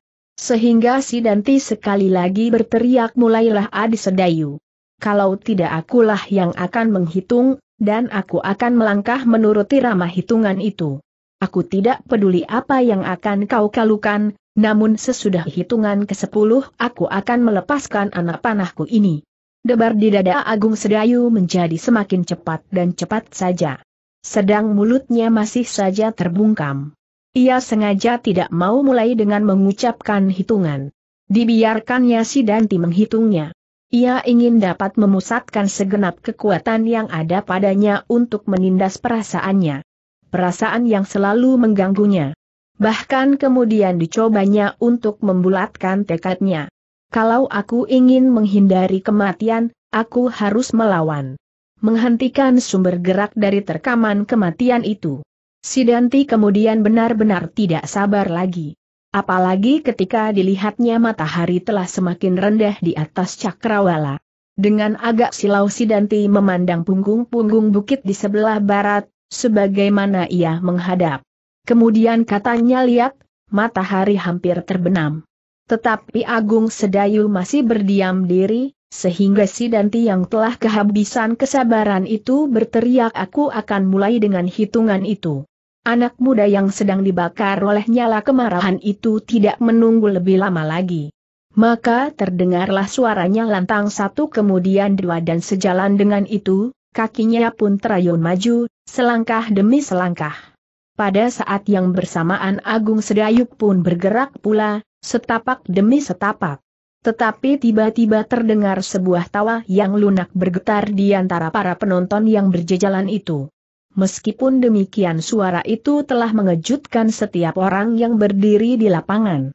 Apalagi ketika di antara derai tertawanya terdengar kata-katanya Sidanti, ternyata kau curang. Langkah dan hitungan Sidanti pun terhenti pula. Mendengar kata-kata itu nyala di dalam dadanya serasa tersiram minyak. Dengan serta-merta ia berpaling sambil berteriak tidak. Aku tidak curang namun Sidanti tidak segera dapat melihat orang itu. Orang yang telah mentertawakannya. Sementara itu terdengar orang itu berkata pula kenapa kau memilih arah itu? Bukankah dengan demikian kau mengharap, bahwa apabila hitunganmu telah sampai hitungan ke-10, dan Agung Sedayu itu pun berbalik maka sinar matahari yang silau ini akan melindungimu. Gila teriak Sidanti siapakah Kasidanti benar-benar tersinggung mendengar kata-kata itu. Memang, keadaan itu pun mendapat perhatiannya pula, dan bahkan diperhitungkannya. Tetapi ketika seseorang menebak dengan tepat, maka kemarahannya menjadi semakin menggelegak. Bukan saja si Danti namun Agung Sedayu, Widura, dan bahkan setiap orang menjadi sibuk mencari orang yang berkata demikian itu. Setiap orang dengan menegakkan lehernya memandang ke satu arah, ke tempat orang yang telah menghentikan perang tanding yang mendebarkan itu. Dan akhirnya mereka melihat juga melihat orang yang berbicara itu sedang berjalan menyibak orang-orang yang berdiri berjejalan di hadapannya.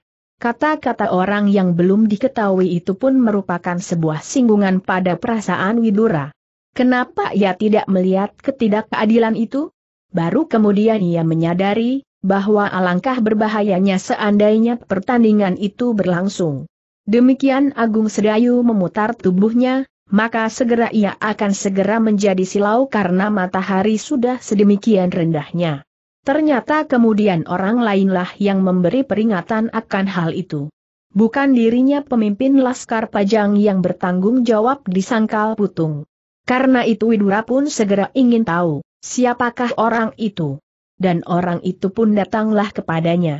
Semakin lama menjadi semakin dekat menyusup di antara penonton yang sengaja memberi jalan, sehingga akhirnya, muncullah orang itu di tengah-tengah lingkaran. Demikian yang muncul dari antara para penonton, maka berdesirlah dada Widura. Betapa ia terkejut melihat kehadirannya. Seorang anak muda yang sebaya dengan Sidanti. Bertubuh kekar padat berwajah tenang dan terang. Dengan sebuah senyum yang segar anak muda itu mengangguk-anggukan kepalanya. Tetapi sebelum Widura sempat berkata sesuatu karena getar dadanya, terdengar Agung Sedayu seakan-akan menjerit tinggi Kakang. Kakang Untara. Kau akah itu? Untara, ia sebenarnya lah anak muda itu Untara, berpaling kepada adiknya. Kini ia tertawa. Suara tertawanya masih selunak seperti suaranya yang pertama-tama diperdengarkan. Kemudian terdengar ia berkata aku datang untuk menyaksikan pertunjukan yang diselenggarakan oleh Paman Widura. Sekali lagi dada Widura berdesir. Dan yang didengarnya kemudian adalah suara ribut di antara penonton. Ternyata mereka terkejut pula melihat kehadiran anak muda itu, apalagi setelah Agung Sedayu menyebut namanya, Untara. Jadi itulah orangnya yang bernama Untara, kakak Agung Sedayu. Dengan demikian, maka kembali para penonton itu berjejalan mendesak maju. Mereka ingin melihat wajah anak muda yang namanya telah jauh lebih dahulu hadir daripada orangnya. Dada Widura kini telah menjadi tenang kembali. Dengan sebuah senyum yang tulus ia mendekati kemenakannya. Diulurkannya tangannya sambil berkata lirih aku tidak dapat mencegahnya. Untara menyambut uluran tangan pamannya. Sambil mengangguk-anggukan kepalanya ia berkata aku senang melihat perang tanding ini. Namun aku ingin melihat perang tanding ini berjalan dengan sempurna. Suatu kehilafan, Untara sahut Widura. Sekali lagi Untara tertawa. Wajahnya yang terang itu kemudian memandang berkeliling. Setiap wajah yang dipandangnya, maka tanpa sengaja, wajah itu mengangguk, dan dengan rendah hati Untara pun menganggukkan kepalanya pula. Sidanti yang melihat kehadiran Untara itu dadanya berdentang pula seperti melihat hantu yang paling dibencinya. Wajahnya yang merah membara itu seakan-akan benar-benar telah menyala. Kini ia melihat untara itu berdiri di hadapannya. Sedang orang-orang di sekitarnya telah mendesak maju sekedar ingin melihat wajah untara itu. Dengan demikian, maka si Dante itu pun telah kehilangan segenap pertimbangannya. Maka semua orang yang berada di lapangan itu tiba-tiba terkejut ketika mereka mendengar si Dante itu berteriak minggir pertandingan akan tetap berlangsung terus. Jangan hiraukan orang yang tidak tahu menahu persoalannya. Untara mengerutkan keningnya. Ketika ia berpaling kepada Widura, maka Widura itu pun memandangnya, seakan-akan minta pertimbangan kepadanya. Untara mengangkat bahunya, katanya kekuasaan di daerah ini berada di tangan Paman Widura silahkan. Aku hanya ingin melihat apakah pertandingan ini akan berlangsung dengan jujur. Jangan menyindir teriak si Danti. Aku tahu maksudmu. Meskipun semula aku tidak memperdulikan matahari itu, namun seandainya hal-hal yang tak berarti itu harus dipertimbangkan, baiklah kita menghadap arah utara dan selatan. Kembali terdengar Untara tertawa, sambil berkata jangan marah si Danti. Terasa kata-kata itu menusuk jantung si Danti seperti tusukan sembilu. Dengan menggeretakkan gigi ia berkata lantang nah Sedayu. Kau dengar? Sedayu yang seakan-akan terpesona karena kehadiran kakaknya itu, tiba-tiba seperti terbangun dari mimpinya. Ia terkejut ketika ia merasa Sidanti mendorongnya. Dan didengarnya sekali lagi Sidanti berteriak bersiaplah. Seperti seorang anak yang mengharapkan sesuatu dari bapaknya Agung Sedayu memandang wajah kakaknya dan tiba-tiba dilihatnya kakaknya itu mengangguk kepadanya. Hanya mengangguk, namun anggukan kepala itu seperti telah mengalirkan suatu kekuatan baru di dalam hatinya. Kehadiran untara yang tiba-tiba itu, benar-benar memperbesar hati Agung Sedayu karena itu, maka dengan gerak yang lebih tenang kini ia berdiri menghadap ke utara, sedang Sidanti berdiri di belakangnya menghadap ke selatan. Dan ketika kemudian si Denti hampir mengulangi hitungannya, terdengarlah Untara berkata biarlah aku menolong kalian.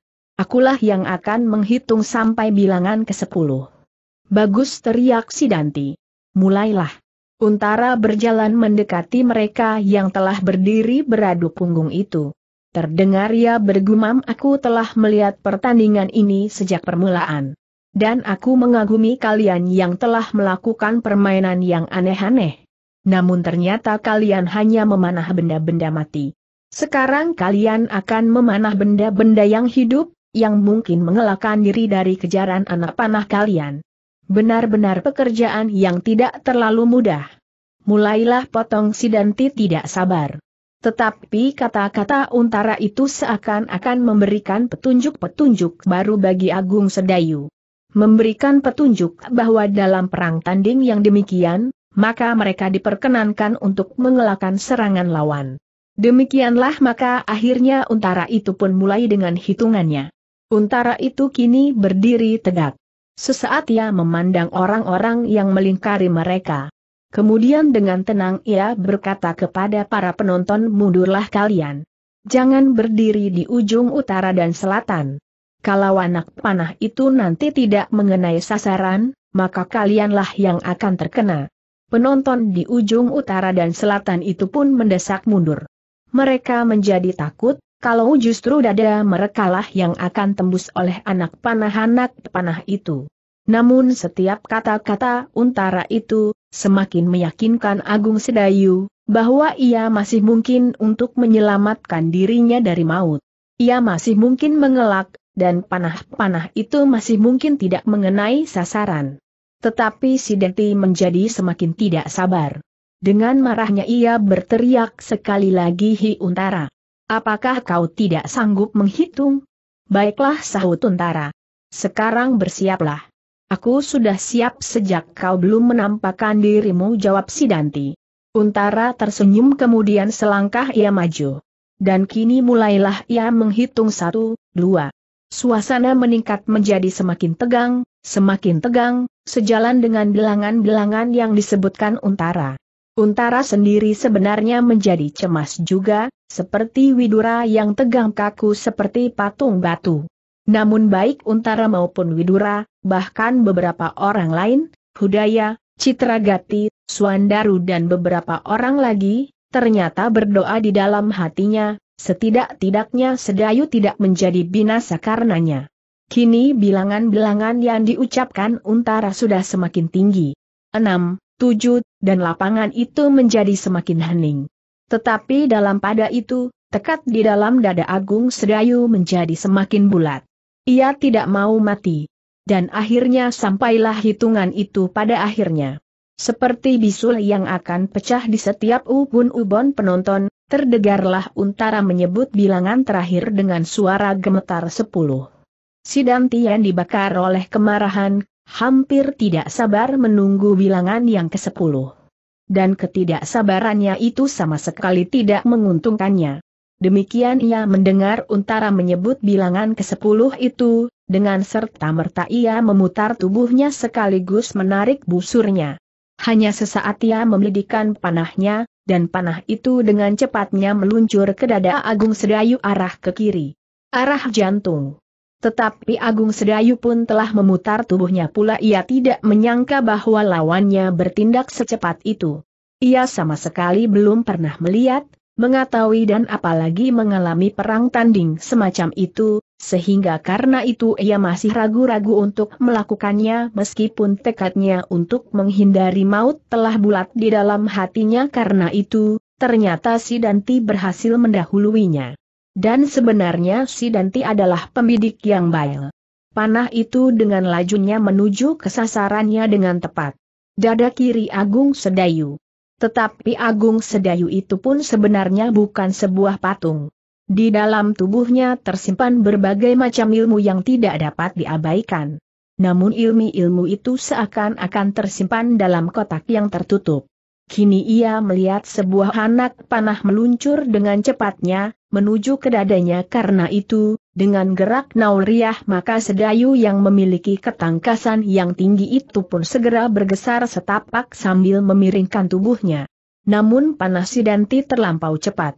Betapapun cepatnya gerak Agung Sedayu, namun ia tidak mampu menghindari anak panah itu sepenuhnya. Sehingga dengan cepatnya panah itu mematuk lengan kirinya.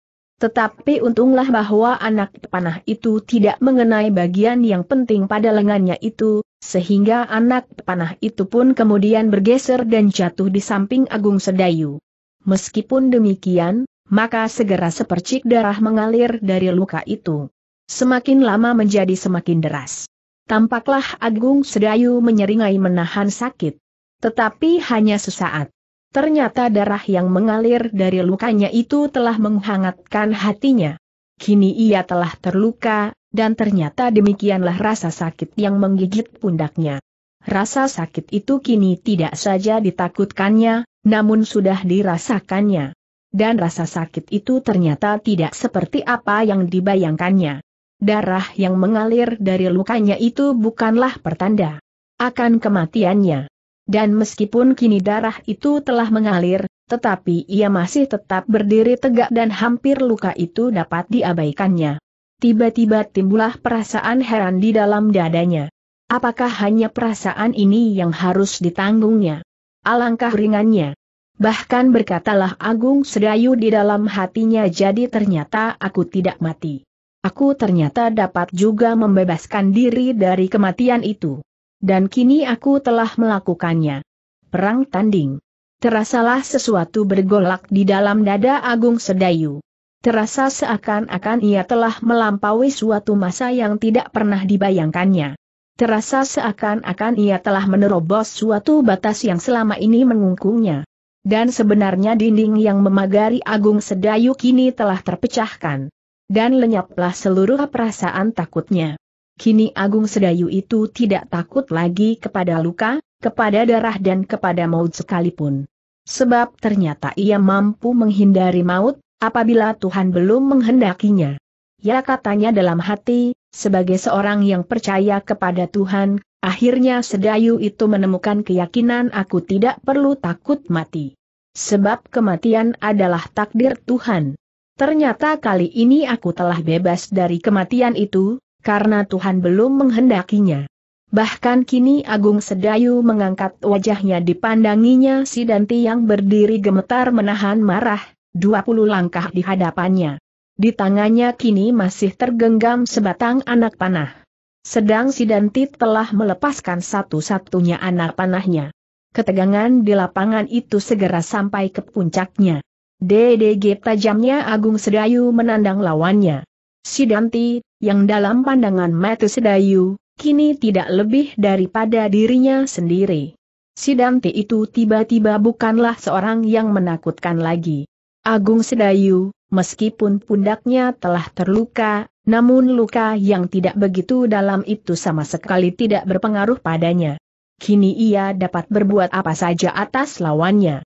Betapapun tangkasnya lawannya itu, namun ia mempunyai banyak waktu untuk membidiknya, menarik busurnya dalam-dalam dan melepaskan anak panah secepat tati. Dalam keadaan yang demikian, alangkah sulitnya untuk menghindari, sebab setiap kali ia dapat melepaskan anak panahnya dengan tiba-tiba. Sidanti masih berdiri tegak seperti tonggak. Kini tubuhnya bergetar semakin keras. Kemarahannya benar-benar telah memuncak sampai ke ubun-ubunnya. Meskipun demikian ia tidak gentar menghadapi panah agung sedayu. Dengan kecepatannya bergerak ia yakin bahwa ia mampu menghindari anak panah lawannya. Tetapi Agung Sedayu itu masih belum membidik lawannya. Meskipun kini ia sudah dapat melepaskan diri dari sebuah belenggu yang selama ini mengungkungnya dalam satu dunia yang gelap, namun masih belum terlintas di dalam angan-angannya untuk membunuh seseorang.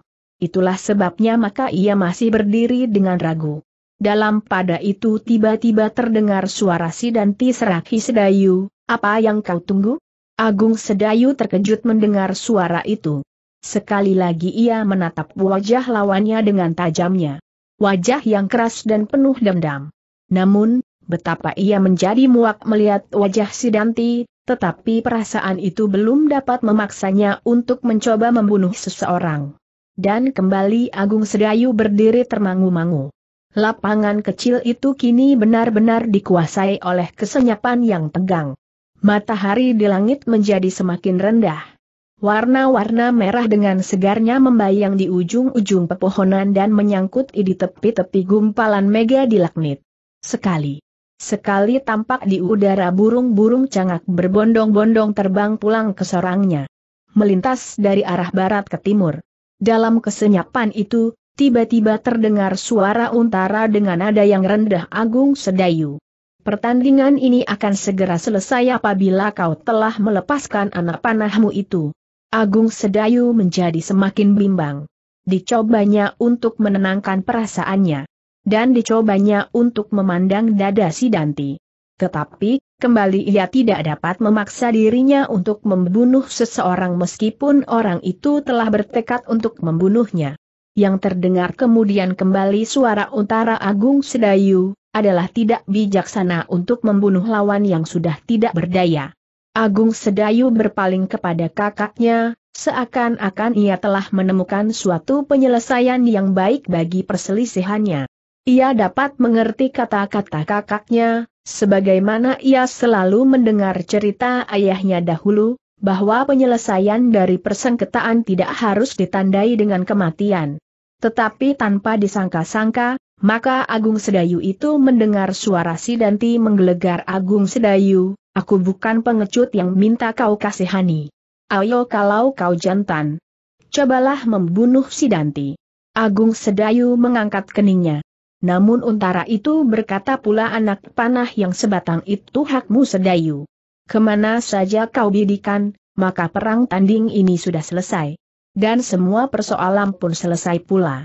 Jangan turut campur untara. Urusan ini sama sekali bukan urusanmu bentak Sidanti sambil menggertakkan giginya karena marah.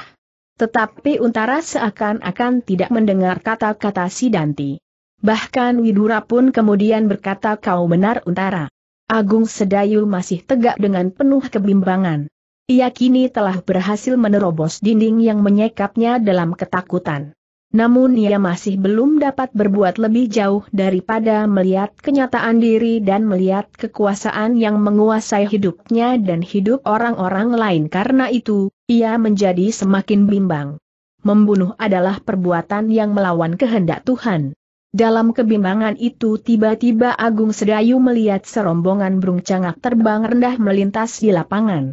Dan tiba-tiba pula ia ingin melepaskan ketegangan yang mencekam dadanya. Dengan serta-merta, ia mengangkat busurnya. Dan sesaat kemudian satu-satunya anak panahnya itu meloncat dengan cepatnya, menyambar seekor cangak yang terbang dengan tenang dan perlahan-lahan di atasnya. Semua orang terkejut melihat perbuatan Agung Sedayu. Mereka hanya sesaat melihat Agung Sedayu mengangkat busurnya. Dan sesaat kemudian mereka sudah melihat, seekor dari burung-burung cangak itu terpelanting dan jatuh di tanah. Agung Sedayu sendiri terkejut melihat hasil yidikannya. Cangak yang sama sekali tidak tahu menahu persoalannya itu tiba-tiba jatuh menjadi korbannya. Namun, adalah lebih baik melepaskan ketegangan di dadanya dengan membunuh seekor burung daripada membunuh si Danti. Tanpa diduga-duga sebelumnya, maka tiba-tiba semua orang yang berdiri di lapangan itu pun kemudian melepaskan ketegangan yang selama ini mencengkam dada mereka.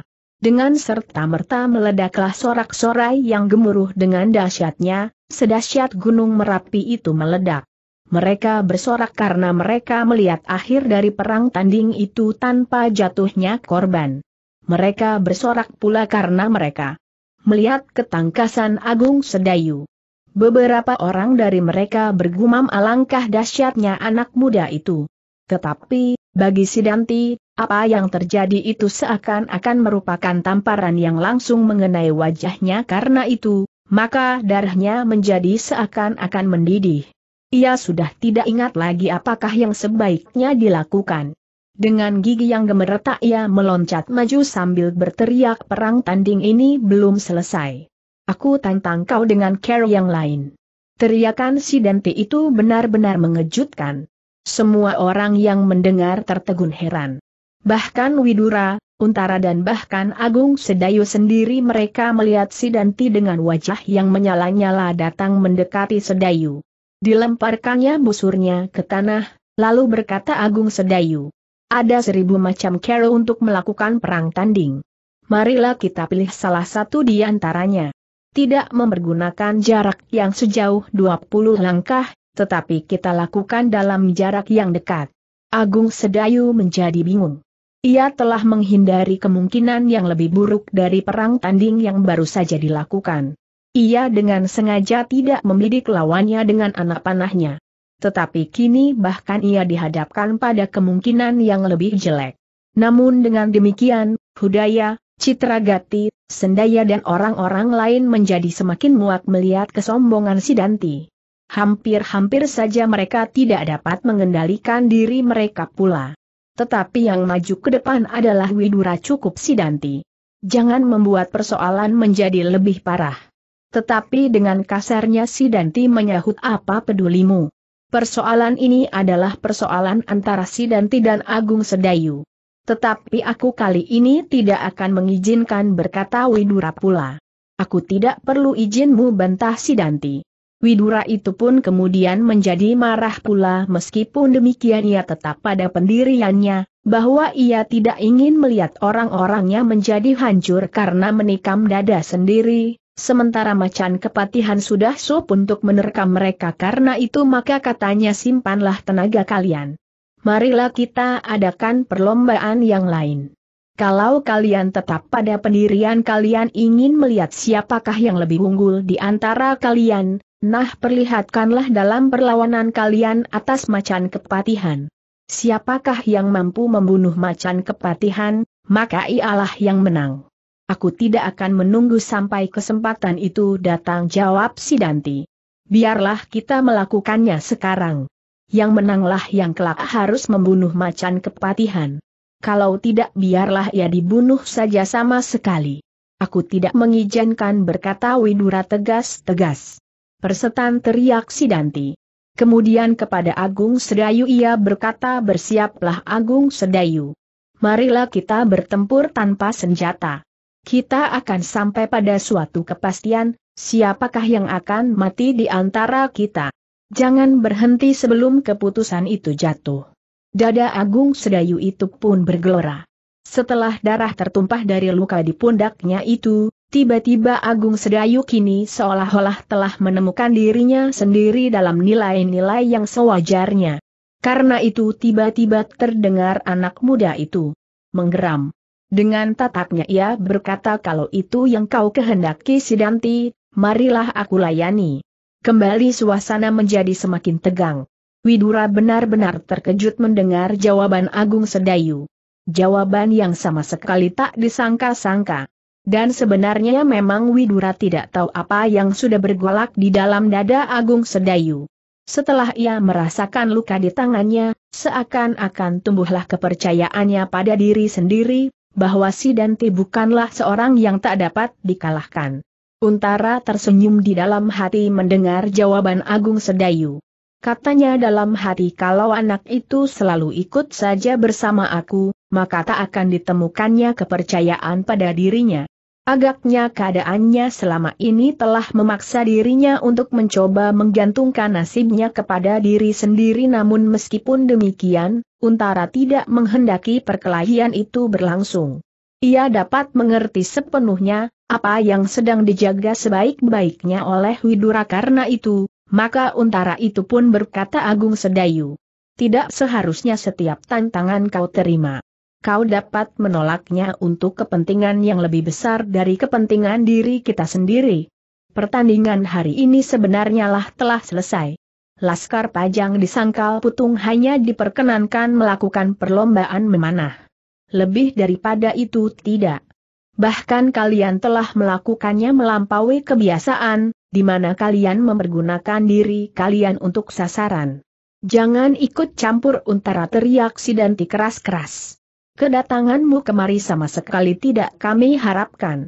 Pergilah dan kalau ingin menonton, nontonlah. Jangan ribut Sidanti jawab untara aku mencoba melihat jauh seperti yang dikatakan paman. Widura.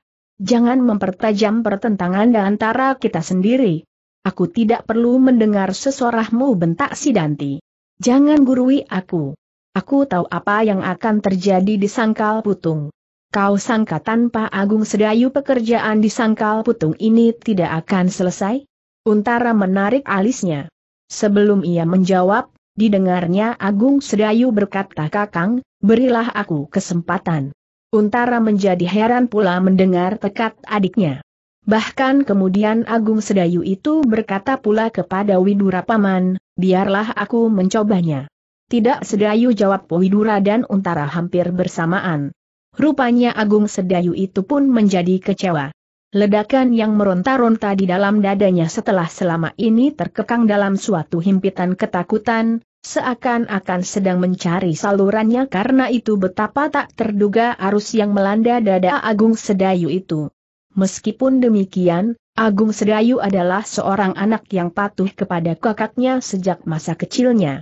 Karena itu, maka ia tidak akan dapat memaksa seandainya kakaknya mencegahnya.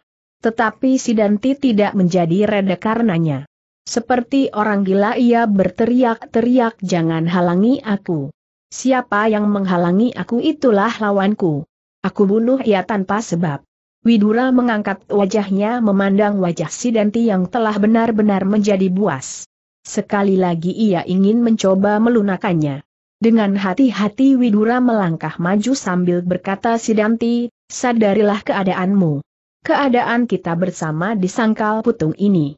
Jangan memandang keadaan dalam suatu lingkungan yang sempit. Tetapi pandanglah seluruh persoalan yang kita hadapi. Namun agaknya kata-kata Widura itu sia-sia saja. Sidanti telah menjadi seakan-akan wuru. Yang ada di dalam benaknya hanyalah kekerasan, perkelahian, dan membunuh atau dibunuh karena itu ia menjawab jangan halangi aku. Untara pun melihat, bahwa sama sekali tak ada kemungkinan untuk dapat mengekang Sidanti. Karena itu maka ia akan berusaha untuk menyingkirkan adiknya. Apabila Agung Sedayu dapat dijauhkannya, dan perkelahian itu dapat ditunda, maka nanti apabila kepala Sidanti telah bertambah dingin, segala sesuatu akan dapat diselesaikannya dengan baik. Karena itu, betapa kecewanya Agung Sedayu, Namun ia tidak dapat berbuat apa pun ketika kakaknya menarik tangannya dan membawanya meninggalkan tempat itu. Tetapi sebelum Agung Sedayu dan Untara berhasil menerobos lingkaran yang tepat itu terdengar Sidanti berteriak jangan pergi pengecut. Tak ada gunanya. Aku akan mengejarmu sampai ke ujung bukit Merapi itu sekalipun. Namun Untara tak menghiraukannya. Didorongnya adiknya dan disibakannya orang-orang yang mengerumuninya. Meskipun demikian Sidanti yang gila itu meloncat maju sambil berteriak lebih keras lagi berhenti pengecut. Widuralah yang kemudian kehabisan kesabaran. Ia sudah menjadi sedemikian bingungnya mencegah perkelahian itu karena itu, tiba-tiba ia pun berteriak nyaring Sidanti, berhenti di tempatmu. Aku adalah pimpinan Laskar Pajang di Sangkal Putung. Aku mempunyai wewenang untuk melakukan segala kebijaksanaan di sini. Aku perintahkan kau tetap di tempatmu. Kata-kata itu menggelegar di telinga Sidanti. Dengan cepatnya ia memutar tubuhnya menghadapi Widura namun Widura benar-benar telah siap. Dan bahkan tiba-tiba si Dante itu pun melihat Hudaya, Citragati, Sendawa dan bahkan Suandaru meloncat maju. Tanpa berjanji mereka seakan-akan telah mempung Sidanti yang hampir menjadi gila itu. Sidanti menggeram. Matanya yang buas menjadi semakin buas. Ditatapnya orang-orang yang berdiri di sekitarnya seolah-olah hendak ditelannya bulat-bulat. Dengan kemarahan yang seakan-akan hendak meledakkan dadanya si Danti berteriak ayo, ayo. Majulah bersama-sama. Inilah si Danti, murid Ki Tambak Wadi. Widura menatap wajah si Danti yang menyala itu dengan mata menyala pula tiba-tiba saja ia berkata si Danti, apakah kau sedang menunggu bantuan gurumu? Jangan kau harapkan itu, sebab di sini hadir pula orang yang dahulu pernah mencegah gurumu membunuh aku itu. Kau lihat cemeti kuda yang terjatuh di samping tanda yang dilemparkan gurumu itu. Kata-kata itu terasa berdentangan di dada Sidanti. Namun tidak hanya Sidanti yang terkejut karenanya. Semua orang menjadi terkejut pula ternyata lingkaran besi dan cemeti kuda itu adalah permulaan dari pertentangan-pertentangan yang akan menjadi semakin memuncak dari dua orang sakti yang tak mereka ketahui dan belum pernah mereka lihat pula orangnya. Sesaat Sidanti berdiam diri. Memang ia mengharap gurunya akan membantunya, melawan kelinci-kelinci yang tak berarti itu di hadapan Ki Tambak Wadi. Tetapi kemudian disadarinya, bahwa ternyata di lapangan itu hadir pula, orang lain yang pernah mencegah langkah gurunya di Tegalan kemarin malam karena itu maka si Dante itu berbimbang untuk sesaat. Tetapi kemarahannya telah benar-benar menguasai otaknya. Sehingga betapapun yang akan dihadapinya, namun ia sama sekali tidak dapat memperhitungkannya. Dengan demikian, maka si Dante itu sama sekali tidak menjadi surut. Bahkan dengan lantangnya ia menjawab apakah kasangka si Danti hanya dapat menggantungkan dirinya kepada orang lain? Ki Tambak Wedi telah menempa si Danti untuk menjadi seorang laki-laki jantan. Aoyo. Siapakah yang pertama-tama? Agung Sedayu atau kakaknya yang bernama Untara itu? Untara mencoba untuk tidak menghiraukannya. Tetapi Agung Sedayu tiba-tiba berhenti di tempatnya. Tiba-tiba ia merasa, bahwa sebenarnya ia tidak mau pula dihinakan. Apalagi setelah ia menemukan penilaian yang wajar atas dirinya, justru setelah sebatang anak panah menyobek pundaknya. Menyingkirlah Sedayu desah Untara. Ia menghinaku kakang, jawab Sedayu. Tetapi Untara berbisik Sidanti adalah seorang anak muda yang tangguh. Sedangkan kau, agaknya baru saja menyadari kelaki-lakianmu. Kau tidak akan dapat melawannya. Tetapi ledakan-ledakan yang dahsyat di dada Agung Sedayu itu pun telah membakar hatinya pula karena itu ia menjawab berilah aku kesempatan. Untara menjadi jengkel karenanya. Maka dibentaknya adiknya pergi. Biar Paman Widura mengurus Sidanti. Tiba-tiba Untara terkejut ketika ia mendengar Sidanti berteriak Untara. Jangan kau sembunyikan adikmu. Atau kau sendiri yang hendak bersembunyi. Terasa sesuatu berdesir di dalam dada Untara. Ia dapat mencegah orang lain untuk tidak menghiraukan maki dan cerca, namun ketika kata-kata itu ditujukan kepada dirinya, terasa dadanya itu bergetar. Meskipun demikian, untara itu tidak berpaling. Yang didengarnya kemudian adalah suara pamannya, Widura Sidanti, kalau kau tetap dalam pendirianmu, maka perintah untuk menangkapmu segera akan aku jatuhkan. Ternyata Sidanti benar-benar telah kehilangan segenap pertimbangannya. Ia seolah-olah tidak mendengar kata-kata Widura bahkan kemudian ia berkata kepada untara-untara, kalau kau sembunyikan adikmu maka kaulah lawanku. Kini Untara terpaksa berhenti. Terasa dadanya bergetar semakin cepat. Namun ketika dilihatnya luka di pundak Sedayu, Untara menarik nafas. Sedayu, betapapun tinggi ilmunya, namun ia sama sekali belum berpengalaman dalam satu perkelahian yang benar-benar menentukan hidup dan mati. Apalagi kini pundaknya itu telah terluka, dan darah mengalir dari luka itu karena itu maka kekuatannya pun pasti berkurang. Untara terkejut ketika Agung Sedayu mendesaknya Kakang, apakah Kakang akan membiarkan si Danti menghina kita? Jangan Sedayu sahut Untara sadarilah keadaanmu. Pundakmu telah terluka. Mungkin pundak itu tidak terganggu pada saat kau menarik busur, tetapi dalam pertempuran jarak dekat, maka luka itu akan sangat berpengaruh. Agung Sedayu meraba lukanya. Terasa luka itu memang pedih, tetapi serasa sama sekali tidak berpengaruh baginya. Namun untara itu pun dapat memperhitungkannya dengan tepat, maka sambungnya kalau kau bergerak, maka darah akan semakin banyak mengalir dari luka itu. Kau akan menjadi lemas, dan lehermu akan dipilin sampat patah oleh iblis itu. Tetapi seperti bendungan yang baru saja pecah oleh banjir, maka Agung Sedayu benar-benar sedang mencari saluran untuk menumpahkan ledakan-ledakan yang terjadi di dadanya. Namun ia tidak berani melawan kehendak kakaknya karena itu hanya dadanya sajalah yang bergelora. Sementara itu terdengar Sidanti berkata pula Untara. Jangan kau sembunyikan anak itu. Atau kau sendiri terpaksa aku bunuh di lapangan ini. Sekali lagi dada Untara bergetar. Ketika ia berpaling, ia melihat Widura mengangkat tangannya.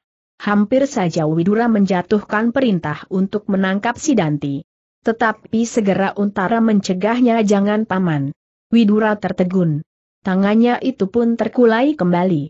Dengan tegangnya ia memandang wajah Untara. Tetapi Untara itu kemudian berkata paman, biarlah Agung Sedayu aku bawa kembali ke Kademangan. Aku harap Sidanti dapat menenangkan hatinya sehingga kemudian ia mendapat pertimbangan-pertimbangan yang wajar. Tetapi kata-kata Untara itu justru semakin menyakitkan telinga Sidanti. Hatinya yang marah itu menjadi semakin parah. Dengan serta-merta ia melontarkan dirinya, langsung menyerang Untara yang sekali lagi tidak bersiaga. Tetapi Untara bukanlah anak-anak yang menangis melihat barongan dadi. Ketika ia melihat si Danti itu dengan satu loncatan panjang menyerangnya, segera ia menarik satu kakinya ke samping dan dengan merendahkan dirinya, Untara berhasil menghindari tangan si Danti yang menyambar kepalanya. Agung Sedayu yang berdiri di muka Untara pun terpaksa menghindar pula tidak kalah tangkasnya, ia pun meloncat surut. Sementara itu terdengar Widura berteriak nyaring si Danti. Apakah kau telah benar-benar menjadi gila? Hei Citra Gati, bersiaplah. Citra Gati pun segera meloncat maju diikuti oleh beberapa orang yang lain. Tetapi segera Untara berteriak pula jangan maju bersama-sama. Aku berhak menangkapnya sahut Widura. Jangan berkata Untara. Aku adalah senapati pajang di sangkal putung desak Widura. Aku adalah pemegang kuasa dari Panglima Wiratamtama, Ki Gede Pemanahan untuk daerah di sekitar Gunung Merapi. Mengamati dan mengamankan segala kebijaksanaan Panglima, termasuk daerah Sangkal Putung Potong Untara. Oh Widura itu pun terdiam. Kini benar-benar disadarinya akan kedudukan kemenakannya itu karena itu, maka kemudian dibiarkannya kemenakannya itu membuat kebijaksanaan sendiri. Sidanti pun mendengar kata-kata Untara itu. Sesaat kata-kata itu berpengaruh juga di dalam benaknya. Namun sesaat kemudian ia sudah tidak memperdulikannya lagi. Pertimbangan-pertimbangannya sudah tidak dapat mempengaruhi kemarahannya. Di hadapan sekian banyak orang, Sidanti yang merasa dirinya pahlawan yang tak terkalahkan itu, harus menunjukkan bahwa sebenarnya lah ia tak dapat dikalahkan. Karena itu, bahkan Sidanti itu berkata apa yang akan kau lakukan Untara, pemegang kuasa penglima Wiratam Tama untuk daerah ini? Sidanti berkata Untara. Atas nama kekuasaan yang ada padaku, jangan berbuat hal-hal yang dapat merugikan nama baik Wiratam Tama. Ini adalah kesempatan bagiku berkata Sidanti seharusnya akulah yang memegang jabatan itu. Sebenarnya Sidanti lebih tangguh daripada Untara. Jangan mengigau Sidanti potong Untara. Betapapun ia mencoba menyabarkan dirinya, namun darahnya pun adalah darah seorang prajurit muda. Ketika ia melihat Agung Sedayu melangkah maju, didorongnya adiknya itu ke samping sambil berkata pula sadari kedudukanmu. Atau aku harus menempuh kebijaksanaan lain seperti Paman Widura. Terserah padamu untara sahut Sidanti tetapi aku ingin menantangmu kini. Apakah kau benar-benar berhak memakai pangkatmu itu? Atau ternyata akulah yang sebenarnya berhak? Untara menggigit bibirnya. Sidanti benar-benar keras kepala. Pengaruh kehadiran gurunya lah yang telah memaksanya untuk berbuat gila itu. Sementara itu, matahari telah tenggelam di bawah garis cakrawala. Lapangan itu pun menjadi semakin lama menjadi semakin gelap. Hanya bintang-bintang di langit sajalah yang kemudian gemerlapan, seolah-olah ikut serta berdesak-desakan menyaksikan apa yang akan terjadi di lapangan itu. Untara masih berdiri sambil menggigit bibirnya. Getar di dalam dadanya terasa menjadi semakin bergelora.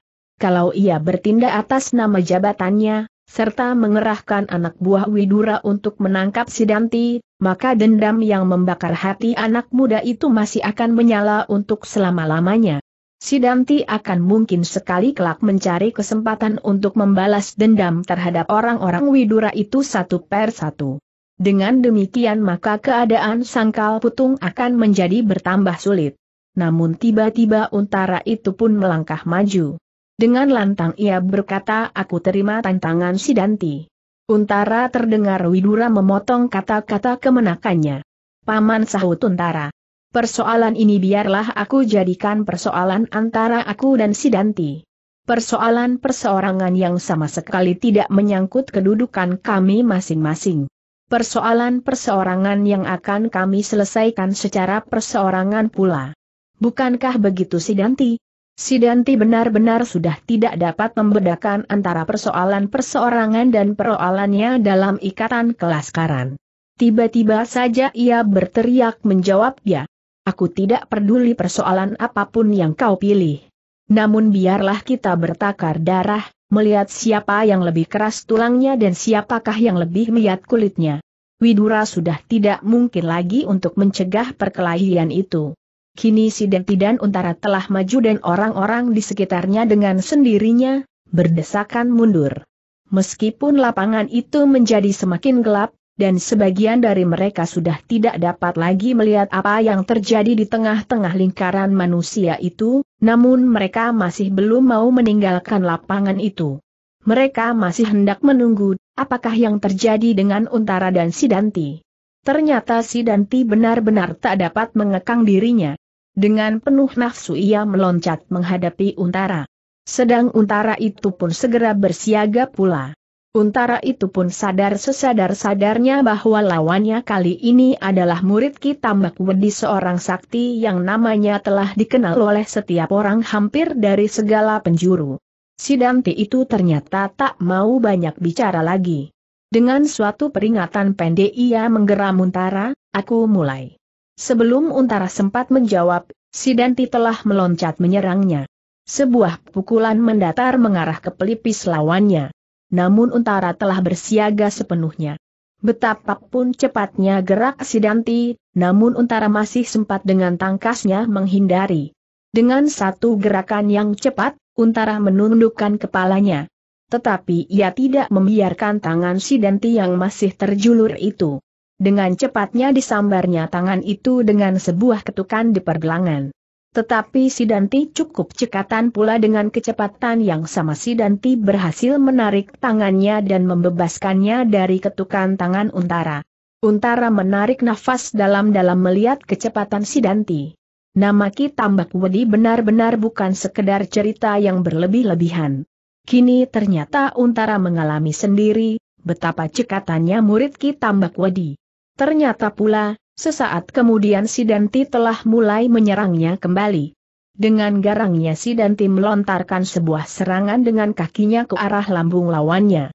Namun sekali lagi Untara berhasil menarik satu kakinya, dan dengan memiringkan tubuhnya ia telah terhindar dari serangan Sidanti. Tetapi Sidanti tidak mau membiarkan lawannya, dengan sebuah putaran pada satu kakinya, Sidanti melepaskan serangan kaki berganda. Demikian cepatnya, sehingga Untara terpaksa meloncat selangkah mundur. Ketika Sidanti akan mencoba mengejarnya dengan serangan pula, maka Untaralah yang kini mendahului lawannya. Dengan tangkasnya ia melontar menyambar dada Sidanti yang masih mencoba menyergapnya. Sidanti terkejut melihat serang yang tiba-tiba itu. Dengan cepat ia merendahkan dirinya dan bahkan kemudian ketika tangan untara yang lain menyambar kepalanya, Sidanti terpaksa melontar ke samping. Demikianlah maka mereka sesaat kemudian tenggelam dalam satu pertempuran yang sengit. Sidanti yang tangkas dan lincah melawan untara yang tangguh-tanggon. Betapa ilmu Ki Tambak Wedi terpaksa berbenturan dengan ilmu dari Jati Anom. Widura, Ki Demang Sangkal Putung, Hudaya, Citra Gati, Suandaru dan bahkan Agung Sedayu yang berdiri di sekitar Arna itu, melihat perkelahian itu dengan wajah yang tegang. Mereka mengenal Sidanti sebagai seorang anak muda yang telah berhasil mempertahankan diri, meskipun tidak sepenuhnya, terhadap serangan-serangan Toh Pati karena itu, maka mereka menjadi berdebar-debar. Seandainya Untara tak berhasil mempertahankan dirinya, maka si Danti yang gila itu pasti dapat berbuat hal-hal di luar kemungkinan yang wajar. Namun sebenarnya Widura tidak menjadi cemas atas nasib Untara. Ia ahu betul bahwa kemenakannya yang besar itu, setidak-tidaknya pasti akan dapat menyamai si Danti. Tetapi apakah selama ini lukanya telah benar-benar sembuh, sehingga segenap kekuatannya telah pulih kembali. Namun melihat kecepatannya bergerak Widura menduga Untara telah mencapai keadaan dan kemantapan ilmu seperti sedia kala. Sehingga dengan demikian, maka perkelahian itu pasti akan berlangsung dahsyat sekali. Sebenarnya lah pertempuran itu semakin lama menjadi semakin seru. Sidanti yang dengan penuh nafsu bertempur itu, segera mengerahkan segenap kemampuannya. Semakin cepat ia dapat menjatuhkan lawannya, semakin tinggi pula nilai dirinya. Bahkan apabila kelak Agung Sedayu tidak puas melihat kekalahan kakaknya, biarlah ia sendiri mencobanya. Karena itulah maka serangan-serangan Sidanti menjadi semakin seru seperti angin ribut yang menghantam pepohonan. Berputar-putar dengan dahsyatnya. Namun untara itu pun tangguh setangguh batu karang pantai. Tegak dengan kokohnya, seakan-akan berakar menghunjam bumi. Tetapi apabila serangannya melanda lawannya, beruntun seperti batu-batu yang berguguran di lereng Merapi. Dengan demikian maka pertempuran di lapangan di muka banjar desa itu semakin lama menjadi semakin seru. Keduanya adalah anak-anak muda yang sedang berkembang. Mereka memiliki bekal ilmu yang tak dimiliki oleh kebanyakan orang. Maka perkelahian di antara mereka benar-benar menjadi sedemikian sengitnya seperti petir yang sedang bersabung di udara. Sambar menyambar dalam kecepatan yang hampir tak dapat diikuti oleh mata. Sehingga karena itu, maka mereka berdua kemudian, seakan-akan telah berubah menjadi bayangan-bayangan yang terbang berputaran, bahkan kemudian mereka seakan-akan telah berubah menjadi gumpalan asap hitam di malam yang gelap tetapi semakin lama menjadi semakin terang bagi Untara. Setelah ia bertempur dengan segenap tenaga pada taraf permulaan, akhirnya berhasil menemukan dan mengetahui letak kekuatan dan kelemahan awannya. Meskipun Sidanti pun mampu pula mengamati kelemahan lawannya, namun ternyata Untara menang seulas dari Sidanti. Untara, yang memegang kekuasaan dari Panglima Wiratamtama di daerah itu, ternyata bukan seorang yang hanya mempunyai nama mengagumkan. Tetapi Untara benar-benar seorang yang dapat dipercaya. Lahir dan batinnya. Dengan demikian, maka kemudian Untara dapat menempatkan dirinya pada keadaan yang tepat. Tetapi justru karena ia telah dapat melihat nilai dari dirinya sendiri di hadapan lawannya itu, maka ia menjadi semakin tenang. Dengan demikian sambil bertempur ia kini sempat mencari kemungkinan-kemungkinan yang sebaik-baiknya untuk menyelesaikan persoalan yang disebutnya dengan persoalan pribadi. Namun ternyata si Denti masih memeras tenaganya habis-habisan. Ia telah benar-benar waringutan. Otaknya seakan-akan telah berhenti bekerja kecuali mencari kemungkinan-kemungkinan untuk membinasakan lawannya dalam perkelahian itu. Mula-mula memang ia merasakan tekanan untara menjadi semakin bertambah tajam. Namun kemudian tekanan-tekanan itu seolah-olah menjadi terurai kembali. Dan dalam penilaian Sidanti, keadaan mereka menjadi seimbang kembali. Sebenarnya lah, kini Untara telah menemukan suatu cara untuk menyelesaikan persengketaan ini tanpa menimbulkan dendam. Meskipun kemudian terasa olehnya, bahwa meskipun berat, namun ia akan dapat menguasai lawannya, tetapi Untara tidak mau berbuat demikian. Sebab, apabila ia menekan Sidanti, sehingga anak muda yang keras hati itu dilumpuhkan, maka dendam akan tetap membara di dadanya. Dendam itu akan dapat berbahaya bagi sangkal putung. Apabila dendam itu meledak pada saat kedatangan Laskar Jepang, maka akibatnya akan mengerikan sekali.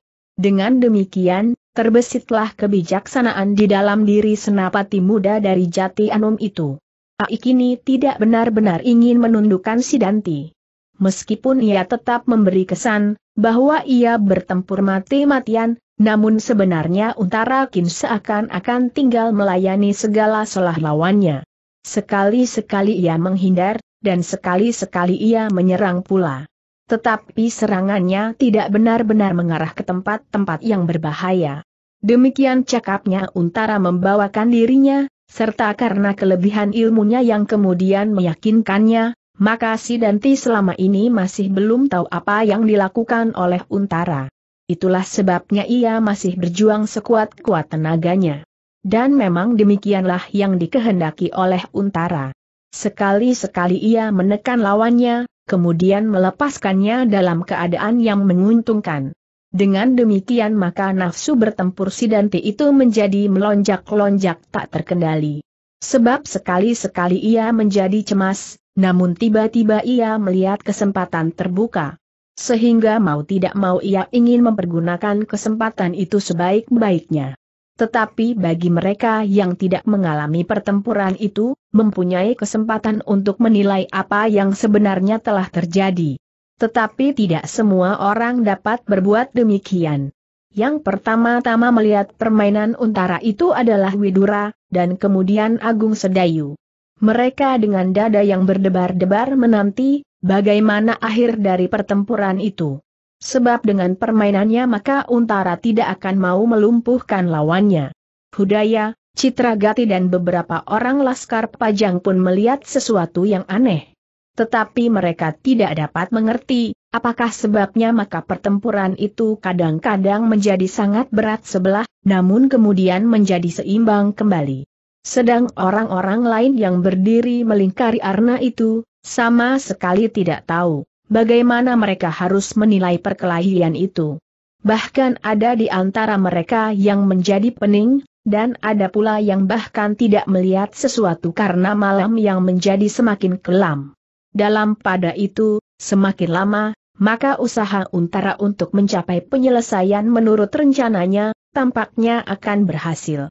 Tenaga si Danti yang terperas itu semakin lama menjadi semakin susut. Sedang Untara, yang memiliki bekal serta pengalaman yang lebih banyak, masih tetap pada kesegarannya semula. Tetapi ia tidak mau menunjukkan kelebihannya itu. Ia ingin si Danti menyelesaikan pertempuran tanpa menjadi kecewa, malu atau dendam. Untara ingin memberi kesan, bahwa perkelahian itu akan berhenti dengan sendirinya tanpa ada yang kalah tanpa ada yang menang. Meskipun hati kecilnya, kadang-kadang ingin juga menunjukkan kelebihannya, sebagai seorang yang mendapat kekuasaan yang luas, namun ia berpikir lebih jauh dari harga diri itu. Ia melihat sangkal putung tidak saja malam ini. Tetapi besok, lusa, beberapa hari dan minggu yang akan datang, bahkan sangkal putung untuk masa yang tak terbatas dalam lingkungan pemerintahan Pajang. Dan ternyata pula kemudian, tandang Sidanti itu pun menjadi semakin susut. Kegarangannya lambat laun menjadi berkurang dan lincahannya pun menjadi surut pula demikian pula yang dilakukan oleh Untara. Meskipun darahnya masih sesegar pada saat ia datang, namun dikurangi segala ketangkasan dan ketangguhannya. Tetapi, dalam pada itu, selain Widura dan Agung Sedayu, di antara penonton itu, seseorang memandangi perkelahian itu dengan nafas tertahan-tahan. Betapa matanya menyalakan kemarahan yang tiada taranya, dan betapa hatinya mengumpat tak habis-habisnya. Orang itu melihat peristiwa di lapangan sejak permulaan sampai saat-saat terakhir. Namun selalu saja ia menjadi kecewa dan marah. Apalagi sejak kehadiran Untara, maka berkali-kali ia menggeretakkan giginya. Tetapi ia masih saja selalu menahan dirinya. Kini ia melihat permainan yang dilakukan oleh Untara itu. Betapa ia pun menjadi tersinggung karenanya.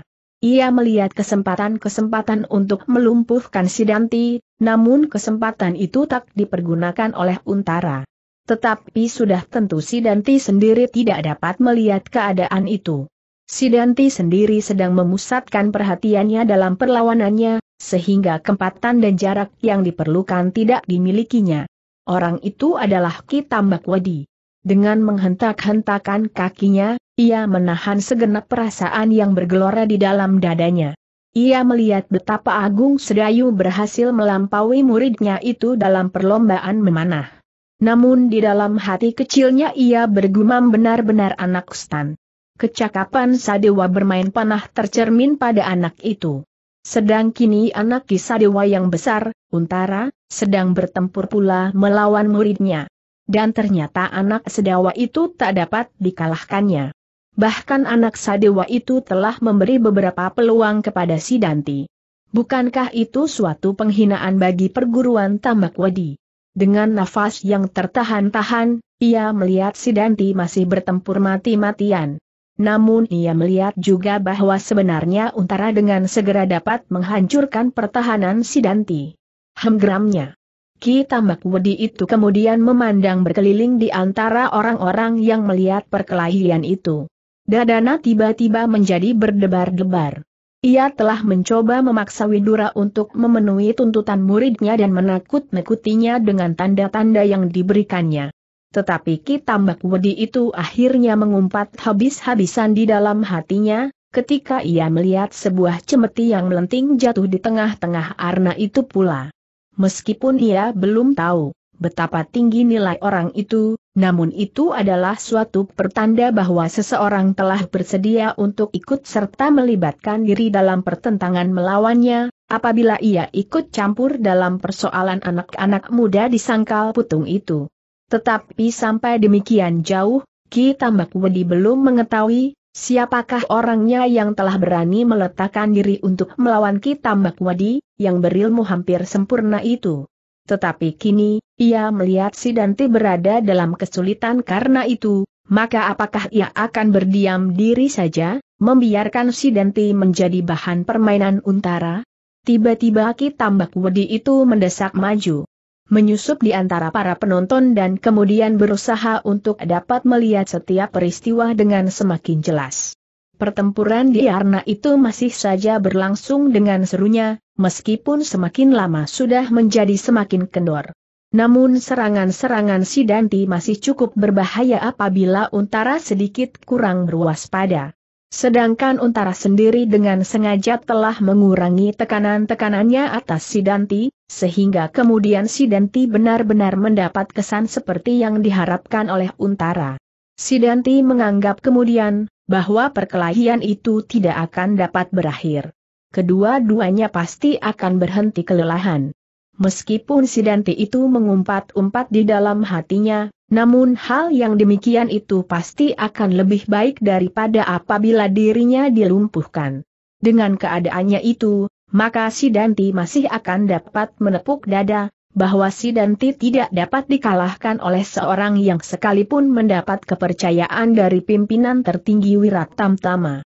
Maka Sidanti itu pun teringat pula akan perkelahiannya dengan Widura mereka akhirnya terpaksa menghentikan perkelahian setelah mereka hampir-hampir tak mampu lagi berdiri. Kini peristiwa itu akan terulang kembali. Dan sebenarnya lah hal itu berlaku baginya. Ketika malam menjadi semakin dalam, maka tenaga Sidanti itu seakan-akan benar-benar telah habis terperas. Setiap kali, ia sendiri terdorong oleh kekuatan serangan-serangannya yang tak mengenai sasarannya. Beberapa kali ia terjatuh dan bangun kembali. Sedang Untara pun berbuat hal-hal serupa. Kadang-kadang mereka berdua terpaksa jatuh bersama-sama dan kemudian dengan susah payah bangun bersama-sama pula sedemikian sering hal-hal yang serupa terjadi, sehingga akhirnya Widura dan Agung Sedayu menjadi ragu-ragu, apakah Untara itu sebenarnya kelelahan ataukah ia masih dalam permainannya yang baik. Tetapi yang mereka lihat kemudian, kedua-duanya itu pun menjadi jatuh bangun berkali-kali. Dalam pada itu, Ki Tambak Wedi sudah tidak sabar lagi melihat peristiwa itu. Ia akan berbuat sesuatu sebelum si Danti benar-benar menjadi lemas. Ia ingin menunjukkan kepada Widura dan Untara, bahwa kemauannya tak boleh diabaikan. Ia akan tetap pada pendiriannya, sepasar sejak malam kemarin. Widura harus sudah merubah sikapnya terhadap si Danti. Meskipun rencana itu kemudian pasti akan terpengaruh oleh kehadiran Untara, namun Untara itu sendiri pun harus dapat ditundukkannya pula seperti Widura. Tetapi Kitambak Wedi itu pun sadar, bahwa agaknya pendirian Widura sukar untuk dapat ditundukkan. Ia telah bertekad untuk memeluk kewajibannya dengan sebaik-baiknya. Apalagi kini Untara ada di antara mereka, sehingga dengan demikian pekerjaannya akan menjadi semakin sulit. Aku akan hadir di antara mereka pikir kita Wedi dan aku akan memberikan beberapa pertunjukan, supaya Untara itu pun meyakini keadaannya, serta keadaan sangkal putung. Sedang apaliba orang yang melontarkan cemetinya itu benar-benar ingin membuat perhitungan dengan Tambak Wedi, maka kesempatan ini pun akan aku terima pula. Setelah mendapat ketetapan itu, maka Kitambak Wedi itu pun beringsut semakin maju lagi. Sekali lagi matanya beredar berkeliling untuk melihat segala kemungkinan yang ada di sekitar tempat itu. Ketika kemudian dipandanginya Arna di antara lingkaran orang yang pepat, Ki Tambak Wedi masih melihat muridnya berjuang sekuat tenaganya.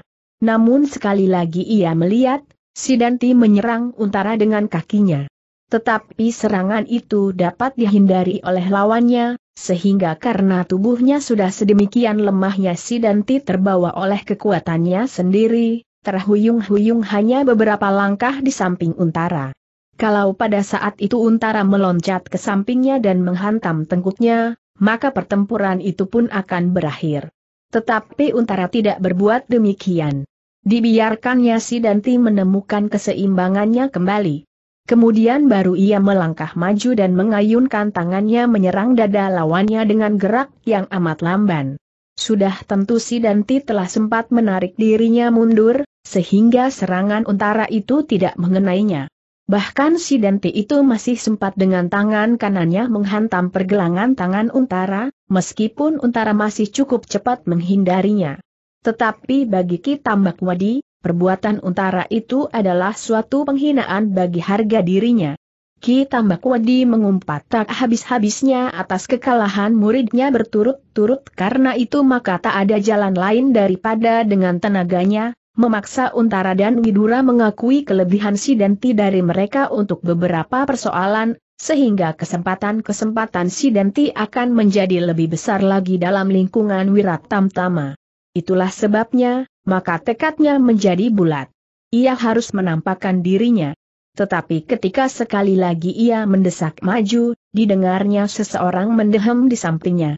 Mula-mula Ki Tambak Wedi sama sekali tidak menaruh perhatian kepada orang lain, namun setiap ia menyusup, maka orang itu pun selalu berada di sampingnya, dan bahkan selalu saja mendehem tak habis-habisnya. Ki Tambak Wedi itu pun kemudian berpaling. Dilihatnya di sampingnya seseorang yang sebaya dengan umurnya tersenyum kepadanya. Ki Tambak Wedi mengerutkan keningnya. Meskipun malam menjadi semakin gelap, namun matanya yang tajam dapat melihat beberapa bagian dari wajah orang yang berdiri sambil tersenyum di sampingnya itu. Namun orang itu sama sekali tak menarik perhatian Ki Tambak Wadi, sehingga ia sama sekali tak mempedulikannya. Tetapi ketika ia melangkah kembali, maka sekali lagi orang itu mengikutinya, bahkan kemudian mendesaknya. Kini Ki Tambak Wedi tidak dapat mengabaikannya lagi. Orang ini pasti bukan tidak punya maksud dengan perbuatan-perbuatannya itu karena itu sebagai seorang yang telah masak, maka segera pikirannya hingga pada seseorang yang telah melemparkan cemeti kuda ke tengah-tengah arna. Dan Ki Tambak Wadi pun tak mau bertanya melingkar-lingkar. Langsung ia bertanya kepada orang di sampingnya itu perlahan-lahan kaukah yang memiliki cemeti kuda itu tadi? Ternyata orang yang berdiri di samping Ki Tambak Wedi itu pun tidak mau berputar-putar pula maka jawabnya lirihnya, aku. Hem Ki Tambak Wedi menggeram. Apa maumu? Tidak apa-apa jawab orang itu.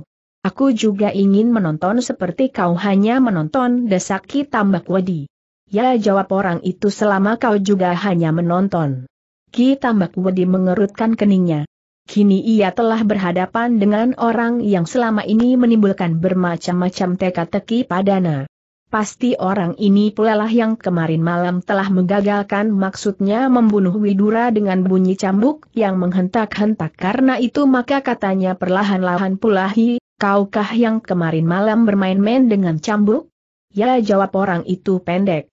Sekali lagi Ki Tambak Wedi mengerutkan keningnya. Kemudian katanya siapakah kau? Orang itu tertawa. Sesaat ia berdiam diri, sedang orang-orang di samping mereka, yang sedang terpukau oleh perkelahian di tengah-tengah arna itu, agaknya sama sekali tak memperhatikan percakapan itu. Baru sesaat kemudian orang itu menjawab Gringsing. Namaku Kiai Gringsing. Hem kembali Ki Tambak Wedi menggeram. Nama yang dapat disebutkan oleh setiap mulut, juga setiap mulut dapat menyebut nama sekehendak hatinya. Ki Tambak Wedi itu pun segera maklum, bahwa KL itu pasti nama yang dibuatnya untuk tujuan-tujuan tertentu karena itu sahutnya ternyata kau lebih beruntung daripadaku. Kenapa bertanya orang itu? Kau telah menabung satu kemenangan. Kau mengenal aku, tetapi aku tidak mengenalmu jawab Ki Tambak Wedi. Aku sudah memperkenalkan diri berkata orang itu. Hem, aku bukan anak-anak potong tambak wadi. Kemudian untuk sesaat mereka pun berdiam diri. Pertempuran antara Si dan Tidan Untara menjadi semakin lambat. Masing-masing hampir tak dapat lagi menguasai dirinya. Ayunan-ayunan tangan mereka adalah tenaga yang akan membawa mereka sendiri dalam satu tarikan yang kadang-kadang tak dapat mereka cegah, menjerumuskan mereka sehingga terguling di tanah. Tetapi metu-metu yang tajam akan meragukan keadaan Untara. Betapapun ia mencoba berbuat sebaik-baiknya namun kadang-kadang kelincahannya masih tampak juga. Tetapi sedemikian jauh, Sidanti dan orang-orang yang berdiri di sekitarnya pada umumnya tak dapat mengertinya. Bahkan di dalam hati mereka, mereka berkata Sidanti benar-benar seorang yang tangguh. Ternyata ia mampu juga melawan orang yang bernama Untara itu. Seorang yang namanya menjadi buah bibir setiap prajurit di daerah selatan dan barat daya. Di sekitar Gunung Merapi. Tetapi Widura berkali-kali menarik nafas dalam-dalam, sedang Agung Sedayu yang mengetahui keadaan sebenarnya itu pun menggeretakkan giginya.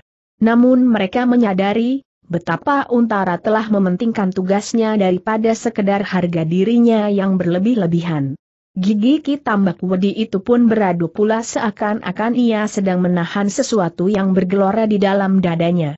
Maka ketika kemudian ia melihat si dan Tidan Untara itu jatuh bangun berganti-ganti, Ki Tambak Wedi itu pun berkata aku akan masuk ke dalam arna.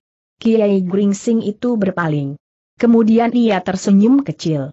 Katanya aku ikut. Boleh. Jangan membuat persoalan dengan aku.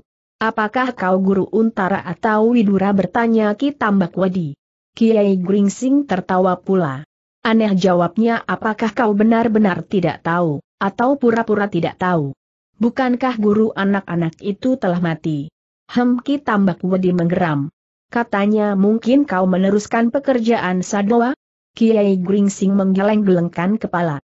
Sahutnya kau pun tahu, bahwa unsur-unsur gerak mereka hampir-hampir murni.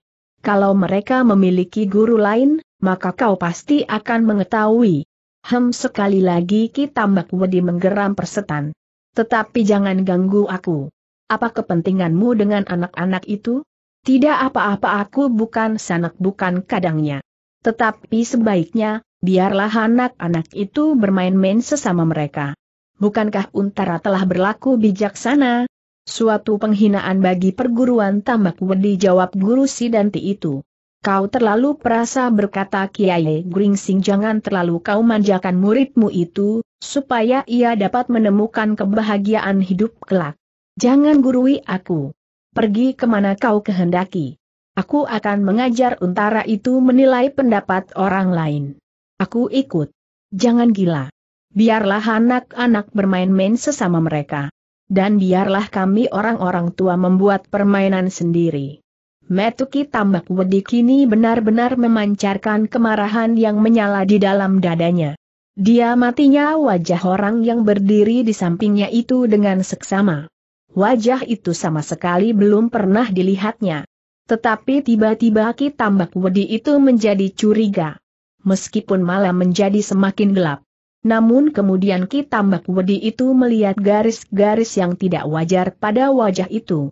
Kenapa kau coreng-coreng mukamu tiba-tiba ia bertanya. Kiai Gringsing mengerutkan keningnya. Jawabnya apakah kau melihat coreng-moreng ini? Aku tidak buta sahut Ki Tambak Wadi. Kau benar-benar bermata tajam melampaui mata burung hantu sahut Kiai Gringsing. Dan katanya kemudian ya. Aku agak sakit mata karena itu aku menggoreskan beberapa jenis obat-obat tandai dan pelipisku. Hem kembali kita Tambak Wedi menggeram. Betapa kemarahannya melanda-landa dadanya, namun semakin lama menjadi semakin menyadari, bahwa orang yang menamakan diri Kiai Gringsing itu bukanlah seseorang yang membanggakan diri hanya karena kemenangan-kemenangan kecil yang pernah dialaminya. Jadi bagaimanakah maksudmu bertanya Ki Tambak Wedi? Biarkan mereka hidup dalam damai. Kalau si Dante itu tidak terlalu bernafsu untuk hal-hal yang aneh-aneh, dan kau tak mendorong-dorongnya, maka tak akan ada persoalan di antara mereka. Itu adalah suatu contoh dari seorang tua yang berotak beku. Ketenangan tidak selamanya baik. Dengan ketenangan itu si Dante selamanya akan tetap di tempatnya. Tetapi tingkat demi tingkat harus dicapainya dengan wajar diamlah. Jangan ganggu aku. Ki Tambak Wedi itu kemudian melangkah setapak maju di antara beberapa orang yang berdiri di sekitarnya. Namun Kiai Gringsing itu pun melangkah maju pula. Aku peringatkan kau sekali lagi desah Ki Tambak Wedi. Peringatan buatmu sendiri sahut Kiai Gringsing. Kini Ki Tambak Wedi sudah tidak dapat menahan dirinya lagi. Tetapi untuk bertempur dengan orang yang menyebut namanya Kiai Gringsing itu pun masih memerlukan berbagai pertimbangan. Sidanti telah benar-benar payah. Sedang agaknya Untara masih cukup segar untuk menundukkan apabila mau. Bahkan untuk membinasakan sekali. Kalau orang yang bernama Kiai Gringsing itu tidak dapat dikalahkannya dengan segera, maka baik si Danti maupun dirinya sendiri pasti akan menemui kesulitan. Widura, Agung Sedayu dan orang-orang Widura yang lain masih ada dalam keadaan yang segar. Betapapun mereka seorang demi seorang tak akan berarti baginya, namun kalau mereka bergerak bersama-sama dan di antaranya orang yang bernama Kiai Gringsing ini, maka keadaannya akan sangat berbeda. Setidak-tidaknya keadaan Sidantilah yang akan menjadi sangat berbahaya. Tidak mustahil Untara menjadi bermata gelap dan membinasakannya. Karena itu, maka Ki Tambak Wedi itu ingin mengetahui sampai di mana kemampuan kekuatan Kiai Gringsing. Meskipun apa yang akan diketahuinya itu tidak tepat seperti keadaan sebenarnya, namun dengan caranya maka kita Tambak Wedi akan dapat mengira-irakan sampai berapa jauh kemungkinan yang dimiliki oleh Kiai Gringsing itu. Maka, Ketika LG itu telah berdiri di sampingnya, Ki Tambak Wedi itu pun berkata sambil menepuk bahu Kiai Gringsing Kisanak, apakah kau benar-benar tidak menghendaki aku ikut serta dalam permainan itu? Tetapi Kiai Gringsing pun bukan anak-anak yang menundukkan wajahnya apabila seseorang membelai pundaknya. Ketika Kiai Gringsing melihat tangan Ki Tambak Wadi bergerak untuk menepuk pundaknya, maka segera orang itu seakan-akan mengerutkan tubuhnya, sehingga ketika pundaknya tersentuh tangan Ki Tambak Wadi, kedua-duanya menjadi kagum akan kekuatan masing-masing. Sentuhan itu seolah-olah beradunya dua batang besi baja yang berlaga. Ketika Ki Tambak Wadi kemudian berpaling dan memandang wajah Kiai Gringsing, dilihatnya wajah itu tersenyum katanya kau akan mematahkan pundaku. Tanganmu keras seperti batu. Hem Ki Tambak Wadi menggeram orang ini benar-benar bukan orang yang sekedar menyombongkan diri. Ketika ia meraba pundak Kiai Gringsing, seluruh kekuatannya telah dipusatkannya di ujung jari-jarinya. Seandainya Kiai Gringsing tidak memiliki daya tahan yang seimbang, maka pundak itu pasti akan luka di dalam. Bahkan mungkin sebelah tangannya akan lumpuh. Apalagi orang kebanyakan, maka tulang-tulang bahunya pasti akan remuk. Tetapi orang yang menyebut dirinya Kiai Gringsing itu, ternyata telah memberikan perlawanan yang wajar tanpa menggerakkan badannya selain sekedar berkerut. Agaknya Kiai Gringsing itu telah menyalurkan kekuatan daya tahannya di pundaknya. Sehingga karena itu ketukan tangan Ki Tambak Wedi tak melukainya. Dengan demikian maka Ki Tambak Wedi benar-benar harus berpikir. Diarna, pertempuran menjadi semakin lambat bahkan hampir berhenti sama sekali. Sekali-sekali dilihatnya si Danti menebarkan pandangan matanya berkeliling. Agaknya anak itu benar-benar mengharapkan kehadiran gurunya. Tetapi kini di samping Ki Tambak Wadi, berdiri seorang yang dapat mengimbangi kekuatannya. Namun Ki Tambak Wadi agaknya belum puas dengan percobaannya. Ketukan tangannya itu belum meyakinkannya. Ia ingin sekali lagi melihat apakah ia harus mempertimbangkan orang itu benar-benar karena itu maka desisnya Kisana. Aku akan mengucapkan selamat atas kesentosaan Kisana. Pundak Kisanak itu benar-benar sekeras baja. Aku kira aku belum pernah melihat seorang pun dari daerah Gunung Merapi ini yang kuat seperti Kisanak. Dan nama Kiai Gringsing pun merupakan nama baru bagiku. Kiai Gringsing itu pun tiba-tiba tertawa, meskipun ia berusaha untuk menahannya, sehingga satu dua orang berpaling kepadanya. Tetapi karena kemudian suara tertawa itu terputus, maka orang-orang itu pun tidak memperhatikannya lagi. Kiai Gringsing itu segera menyadai tantangan Ki Tambak Wedi bahkan di dalam hati ia berkata tantangan yang bijaksana. Kami harus bertempur tanpa seorang pun yang mengetahuinya. Bagaimana kisanak desak Ki Tambak Wadi? Terima kasih atas ucapan selamat ini belum lagi Kiai Gringsing selesai berkata, dilihatnya Ki Tambak Wadi mengulurkan tangannya. Kiai Gringsing pun kemudian menyambut tangan itu. Dan keduanya bersalaman.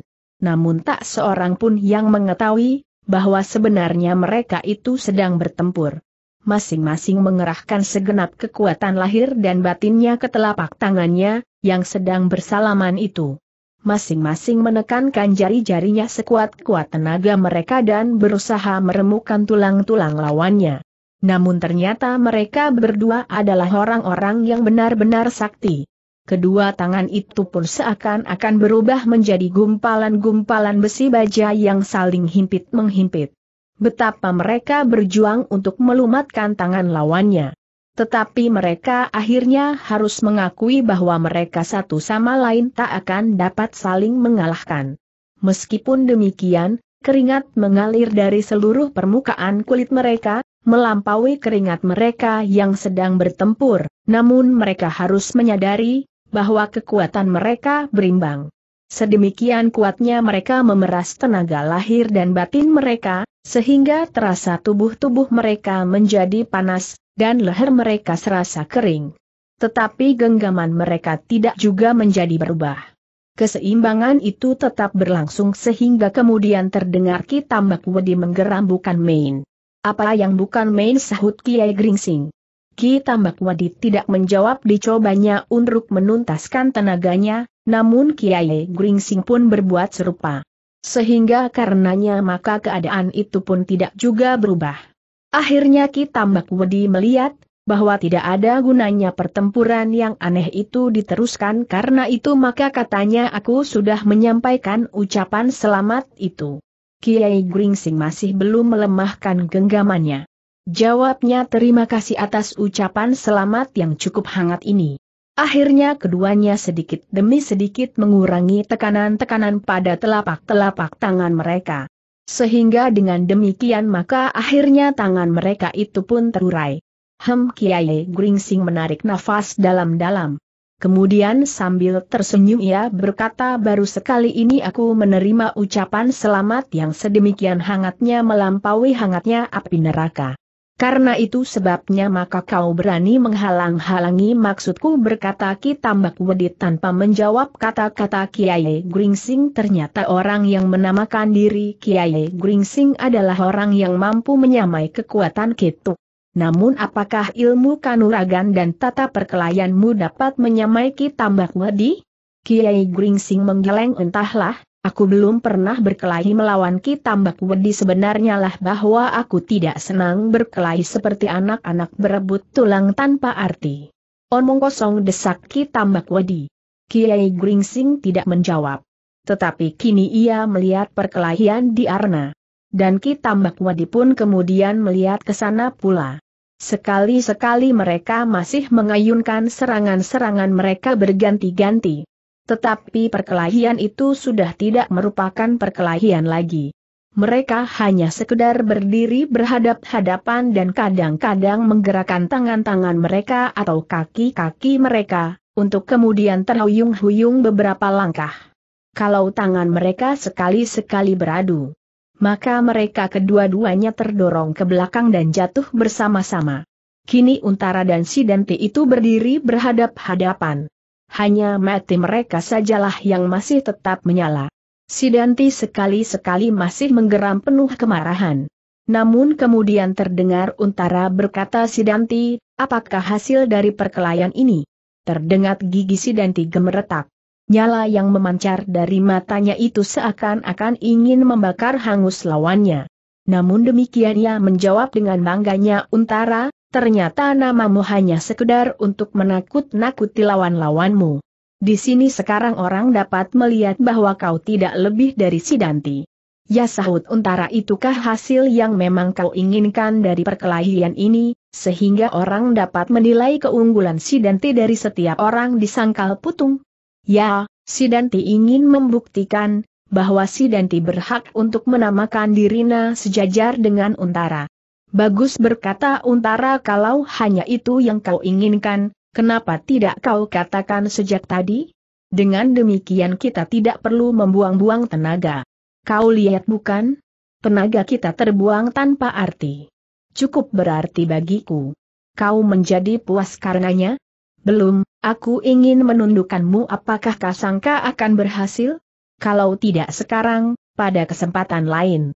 Baik, kalau begitu biarlah kita bicarakan pada kesempatan lain itu.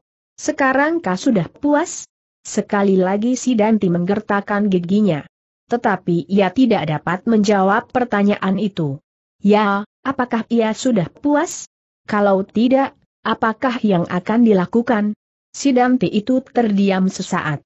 Tetapi untuk menutupi kegelisahannya ia bertanya apakah perkelahian ini kita lanjutkan untara. Untara tersenyum pahit. Jawabnya apakah kau memandang bahwa perkelahian seterusnya akan bermanfaat bagimu? Persetan. Aku bertanya kepadamu. Sekarang Untara terdiam sesaat.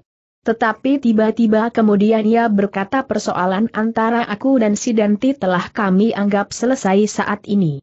Terserahlah apabila pada masa-masa yang akan datang, persoalan itu akan diungkapkan kembali. Sekarang kembali ke Kademangan. Jangan menganggap soal di antara kita sudah selesai. Soal itu baru selesai apabila Untara telah mengakui keunggulan Sidenti daripadanya berkata Sidenti dengan sombongnya.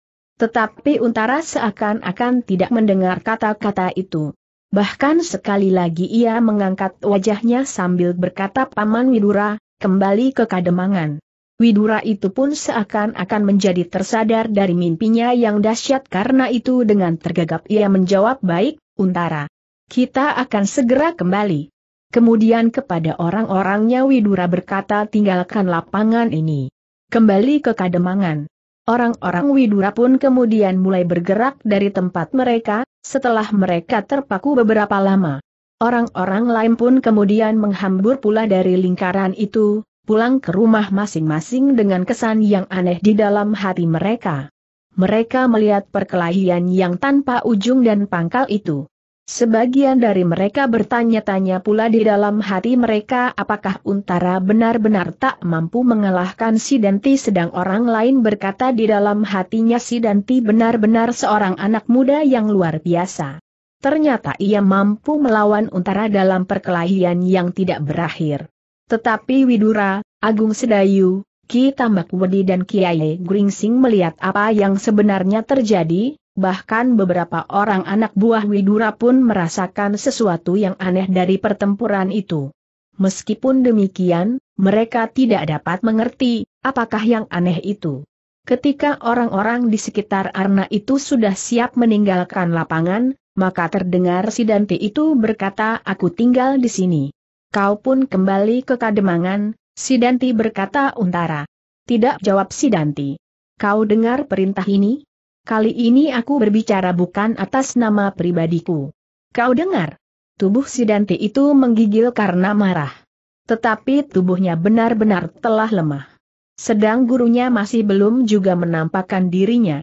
Namun si Dante itu kemudian menduga bahwa gurunya pasti memperhitungkan juga, hadirnya seseorang yang telah melemparkan cemeti kuda diarna itu.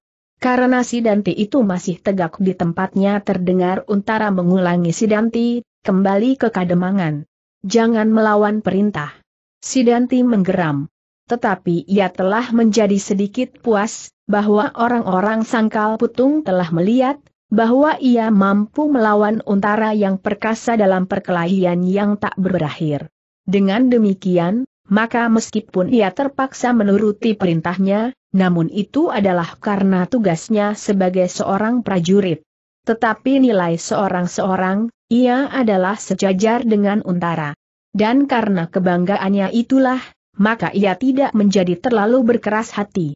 Betapapun segannya, ia berjalan juga meninggalkan lapangan itu menuju ke Kademangan. Di sepanjang jalan ia masih dapat menengadahkan wajahnya, seakan-akan berkata kepada setiap orang yang dijumpainya inilah si Danti, yang mampu menyamai keperwiraan Untara, orang yang mendapat kuasa langsung dari pimpinan tertinggi Wirat Tamtama. Demikianlah maka satu demi satu orang-orang yang berada di lapangan itu pergi dengan kesan masing-masing. Di belakang si Danti yang sedang menikmati kebanggaannya, berjalan Untara dan Widura. Di belakang mereka berjalan Agung Sedayu. Namun Agung Sedayu itu kini tidak lagi berjalan menunduk, tetapi wajahnya pun tengadah seperti juga si Danti. Dan orang-orang pun memandangnya dengan penuh kekaguman. Apabila si Danti mampu menyamai keperwiraan Untara, maka Agung Sedayu memiliki ketangkasan memanah melampaui si Danti. Bahkan ada di antara mereka yang bertanya-tanya di dalam hati mereka apakah Agung Sedayu ini melampaui kakak kandungnya, sehingga ia pun akan sanggup mengalahkan si Danti. Namun perlombaan di lapangan itu telah benar-benar berkesan di hati para penontonnya, orang-orang sangkal putung. Mereka itu kini tahu dengan jelas, bahkan hampir pasti, siapakah orang-orangnya yang menjadi tiang kademangannya, si Danti, Agung Sedayu dan sekarang hadir Runtara di samping Widura sendiri. Meskipun mereka ternyata seakan-akan bersaing satu dengan yang lain, namun berkumpulnya tokoh-tokoh itu di sangkal putung, agaknya telah memberi sedikit ketenangan kepada penduduk yang menyimpan berbagai macam perbekalan di padukuhan dan kademangan mereka itu. Sekar Mirah kini tak dapat berlari-lari menyusul Agung Sedayu maupun Sidanti. Ayahnya membimbingnya tanpa melepaskan tangannya, sedang Suandaru berjalan agak jauh di belakang mereka sambil menuntun kudanya. Tetapi wajahnya kini telah menjadi lebih terang. Untunglah bahwa di palangan itu benar-benar tidak jatuh korban. Ia menjadi menyesal juga atas perbuatannya. Namun sebenarnya, di sudut hatinya, terasa juga kekecewaannya atas Untara. Ternyata Untara itu tidak mampu untuk melumpuhkan si Danti.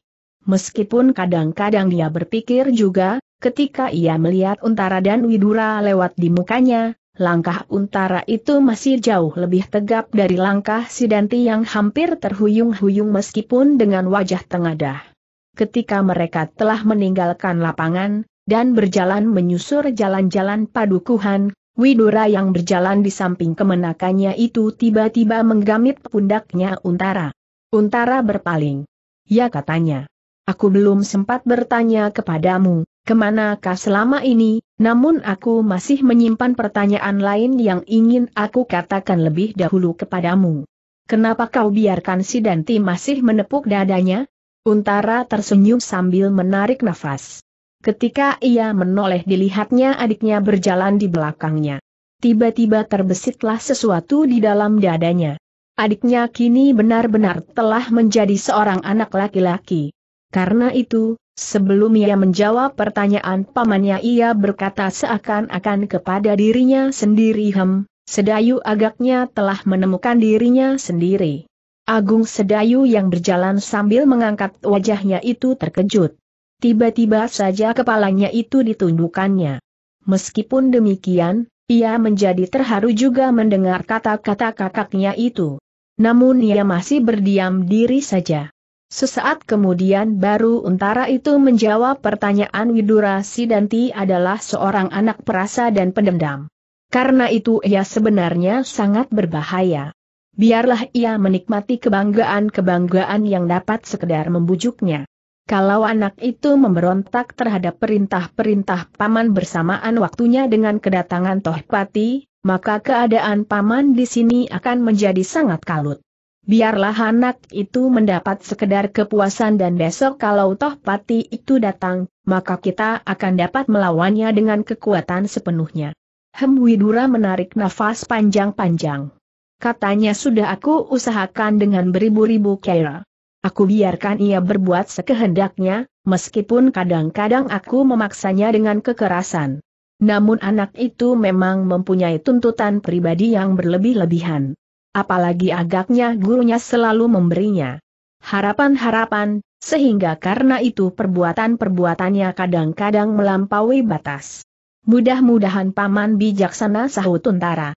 Tetapi tiba-tiba Agung Sedayu menyela apabila paman telah memanjakannya, maka ia akan bertambah berani menentang kehendak paman.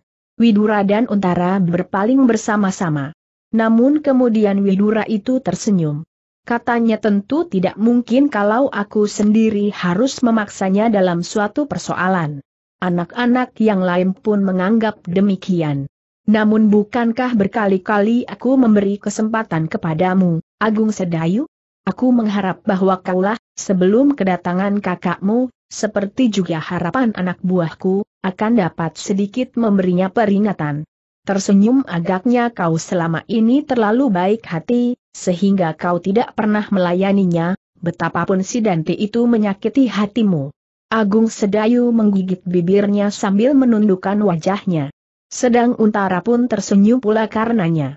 Katanya Paman, apakah yang dikerjakan Agung Sedayu selama ini? Ia datang sebagai pahlawan sahut pamannya. Namun seterusnya ia lebih senang duduk di peringgitan siang dan malam. Ah dasah agung sedayu. Untara tertawa.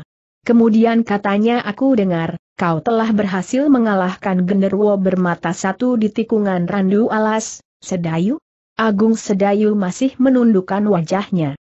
Sudah beberapa lama ia lupa pada genderwo itu dan tiba-tiba ia kini menjadi geli terhadap dirinya sendiri. Betapa ia takut kepada nama-nama yang belum pernah dikenal adanya. Genderwo bermata satu, macan putih dari lemah cengkar, namun ia lebih geli lagi kalau diingatnya, lututnya dua-duanya menjadi gemetar ketika tiba-tiba si Danti marah kepadanya, pada saat ia sedang bercakap-cakap dengan Sekar Mirah. Sekar Mirah. Ya, Sekar Mirah tiba-tiba hatinya berteriak aku kehilangan setiap kesempatan bertemu dengan gadis itu, bukankah karena aku takut kepada Shudanti? Kini aku tidak takut lagi kepadanya. Dan aku tidak akan menghindari setiap pertemuan dengan gadis itu. Tetapi yang kemudian didengarnya adalah kata-kata pamannya Untara, kedatanganmu aku harap akan membawa angin baru bagi kademangan ini dan malam nanti jangan kau harap kau akan dapat tidur. Betapapun letihnya, kau harus bercerita kepada kami di sini, di manakah selama ini, dan apa yang telah terjadi dengan dirimu. Berhari-hari aku dan Agung Sedayu mencarimu, namun yang kami ketemukan adalah seorang bertopeng yang menyebut dirinya Kiai Gringsing. Betapapun dinginnya malam, namun untara itu pun merasa bahwa keringatnya tidak juga menjadi kering. Ketika ia sampai di Kademangan, maka pertama kali yang dilakukannya adalah mandi. Tetapi demikian ia selesai berpakaian, peluhnya telah mulai mengaliri tubuhnya kembali. Sedang di kepalanya selalu berputar-putar berbagai pertanyaan yang nanti pasti harus dijawabnya. Apakah yang akan dikatakan, seandainya seseorang bertanya kepadanya, ke manakah ia selama ini, dan apa sajakah yang sudah dilakukannya? Tetapi akhirnya yang dicemaskannya itu pun terjadi. Ketika ia duduk di peringgitan bersama-sama dengan Widura, Agung Sedayu dan Kidemang Sangkal Putung, maka dari pintu berunculan para pemimpin Laskar Pajang yang berada di Sangkal Putung. Satu demi satu, tanpa dipersilakan. Mereka kemudian duduk melingkar di atas tikar anyaman di tengah-tengah peringgitan itu. Dipendapasi dan duduk di tempatnya sambil meniang bimang senjatanya yang masih terbalut rangka di kedua ujungnya, kemudian dengan rapinya senjatanya itu diselubunginya dengan kain putih. Ketika ia melihat beberapa orang masuk ke peringgitan, ia mencibirkan bibirnya. Buat apa mengerumuni anak yang sombong itu katanya dalam hati. Aku sangka untara itu setidak-tidaknya dapat menyamai kesaktian macan kepatihan. Tetapi ternyata ia tidak lebih baik dari Widura sendiri. Dengan metu yang redup ia memandangi setiap orang yang berjalan di dekatnya. Bahkan kemudian dengan malasnya ia berbaring sambil menguap keras-keras. Seorang prajurit yang tidak jauh daripadanya berkata ah, Kakang Sidanti, kau mengejutkan aku. Huh sahut Sidanti kenapa kau tidak ikut masuk ke peringgitan saja? Hanya para pemimpin kelompok yang boleh masuk. Peringgitan itu terlalu sempit, jawab orang itu. Kenapa Kakang tidak ikut masuk dan mendengarkan cerita untara itu? Buat apa aku mendengarkan bualannya? Ternyata aku kecewa setelah aku menilai sendiri kekuatan orang yang bernama Untara itu. Dahulu aku kagum apabila aku mendengar namanya. Sekarang ternyata aku sama sekali tidak mempunyai harapan apa pun atas kehadirannya. Kalau macan kepatihan itu datang kembali, maka nasib kita masih akan sama saja. Apalagi agaknya macan kepatihan telah melihat kekuatan yang ada di sangkal putung. Ia sati tidak akan datang dengan kekuatan yang sama dengan pada saat ia datang dahulu. Prajurit itu tidak menjawab ia pun mempunyai perasaan yang sama seperti apa yang dikatakan oleh Sidanti. Ada juga rasa kecewa di dadanya, setelah ia melihat Untara dan Sidanti bertempur. Sedang hasilnya, keduanya tak dapat saling mengalahkan. Dengan demikian, maka apa yang diharapkan dari Untara untuk melawan macan kepatihan akan tidak terpenuhi. Apabila kelak macan kepatihan itu datang beserta laskarnya yang lebih kuat, serta apabila macan kepatihan berhasil mengumpulkan orang-orang ternama yang tersebar, maka keadaan sangkal putung pasti benar-benar ada dalam bahaya. Tetapi prajurit itu tidak bertanya apa pun. Perlahan-lahan ia berjalan ke halaman dan duduk termenung di atas sebuah batu. Dilihatnya beberapa kawannya yang berada di regol halaman, tampak selalu berwaspada, sedang di muka gandok dilihatnya beberapa orang tidur mendengkur sambil memeluk pedang-pedang mereka. Tetapi sebentar kemudian prajurit itu pun menjadi mengantuk pula, sehingga dengan segannya ia pun berjalan ke gandok wetan, dan merebahkan diri di samping kawan-kawannya. Tetapi ia tidak berhasil memejamkan matanya. Berkali-kali ia tersadar karena kegelisahannya. Di peringgitan, Untara terpaksa mendengarkan berbagai pertanyaan yang bertubi-tubi menghujaninya. Beberapa pertanyaan dapat dijawabnya dengan mudah. Namun yang lain telah membingungkannya. Pelun dingin mengalir di kening Untara ketika ia mendengar pamannya bertanya Untara, aku telah sampai ke rumah Kitanu Metir, sehari setelah kau hilang.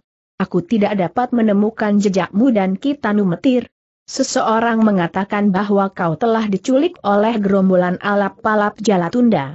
Tetapi sekarang, tiba-tiba saja kau muncul dengan segar bugar. Apakah yang sebenarnya telah terjadi di Dukuh Pakwon? Untara menarik nafas dalam-dalam. Sesaat ia berpikir, kemudian ia menjawab ya, aku memang dalam kesulitan waktu itu. Tetapi seseorang telah menyelamatkan aku. Siapa bertanya Widura? Untara itu kemudian memandang berkeliling. Satu per satu, wajah-wajah yang penuh minat memperhatikannya itu ditatapnya. Kemudian dengan hati-hati ia menjawab aku ditolong oleh seorang yang tak ku kenal, karena wajahnya ditutup oleh sebuah topeng. Kiai Gringsing Selawidura. Ya, Widura tertawa. Agung Sedayu pun tersenyum juga. Tetapi orang lain, yang belum pernah mengenal Kiai Gringsing menjadi terkejut karenanya. Tetapi mereka berdiam diri. Mereka menunggu pertanyaan-pertanyaan Widura selanjutnya. Tetapi yang berkata kemudian adalah Untara kenapa Paman tertawa aku pernah bertemu dengan Kiai Gringsing. Lalu, aku pernah melihat jejak-jejak kuda dari kandang Kitanu Mektir apa hubungannya dengan Kiai Gringsing? Kiai Gringsing menyangkal bahwa ia pernah datang ke rumah Kitanu Metir. Untara mengerutkan keningnya.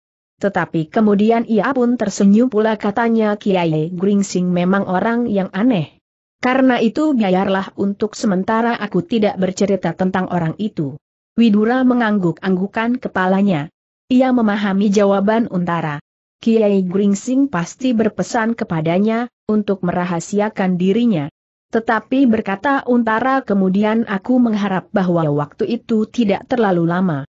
Syukurlah kalau Kiai Gringsing sendiri datang kepada kita di sini dan bercerita tentang dirinya. Bukankah Kiai Gringsing hadir juga di lapangan siang tadi bertanya Widura?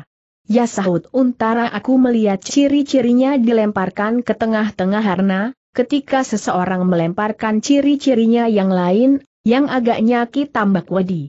Widura mengerutkan keningnya. Kemudian ia bertanya kau kenal juga ciri Kitambak Wedi? Untara tidak menjawab. Tetapi ia tersenyum. Beberapa orang lain yang mendengarkan cerita itu, sebagian besar sama sekali tidak tahu ujung pangkalnya karena itu mereka hanya berdiam diri mendengarkan. Suandaru yang kemudian duduk di belakang ayahnya pun sama sekali tidak mengerti apa saja yang sedang dipersoalkan. Tetapi pertemuan itu tidak berlangsung lebih lama lagi. Beberapa orang menjadi sangat mengantuk dan Untara sendiri menjadi sangat lelah karena itu katanya aku minta maaf, karena aku sangat lelah, apakah aku boleh meninggalkan pertemuan ini? Widura tersenyum, jawabnya pertemuan tanpa kau tidak akan ada gunanya karena itu, biarlah pertemuan ini berakhir. Kita harus beristirahat, meskipun kita hampir sampai ke ujung malam. Sebentar lagi kita harus sudah bangun dan menunaikan kewajiban kita masing-masing. Peringgitan itu sesaat kemudian menjadi sepi. Untara tidak mau tidur di pembaringan Wildura. Ia lebih senang tidur di atas sehelai tikar bersama adiknya. Ketika semuanya telah pergi, dan ketika Untara telah membaringkan dirinya di samping adiknya, maka katanya perlahan-lahan apakah yang kau kerjakan selama ini? Agung Sedayu menarik nafas. Jawabnya aku hampir mati kecemasan. Untara tersenyum. Katanya kalau tidak karena terpaksa oleh keadaan, aku kira kau masih saja suka merengek-rengek. Aku turut berbangga dengan keadaanmu sekarang. Mudah-mudahan penyakitmu tidak kambuh lagi setelah aku datang. Mudah-mudahan gumam Agung Sedayu. Dalam pada itu, terasa sesuatu bergolak di dalam dadanya. Ia tiba-tiba saja memiliki perasaan yang asing tentang dirinya, tentang dunia sekitarnya. Tiba-tiba tanpa disengaja ia meraba luka di pundaknya yang telah dibalut rapi. Luka itu tidak seberapa.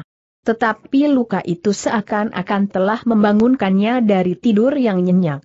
Apa yang telah dilakukannya di lapangan, ternyata mampu membangkitkan kebanggaan atas diri sendiri, sehingga karena itu, Agung Sedayu kini melihat kemampuan yang dimilikinya karena itulah maka kini ia percaya akan dirinya sendiri.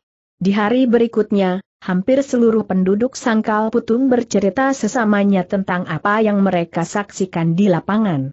Mereka menjadi kagum kepada Agung Sedayu, yang dalam ketangkasan memanah dapat melampaui Sidanti.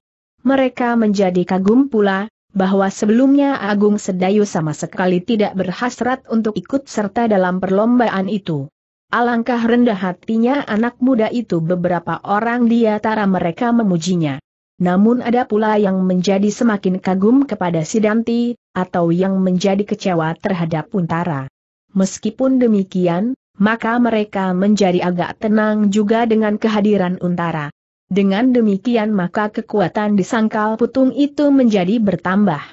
Tetapi dalam pada itu, penduduk sangkal putung menjadi cemas ketika mereka melihat kesiagaan Laskar Pajang itu meningkat.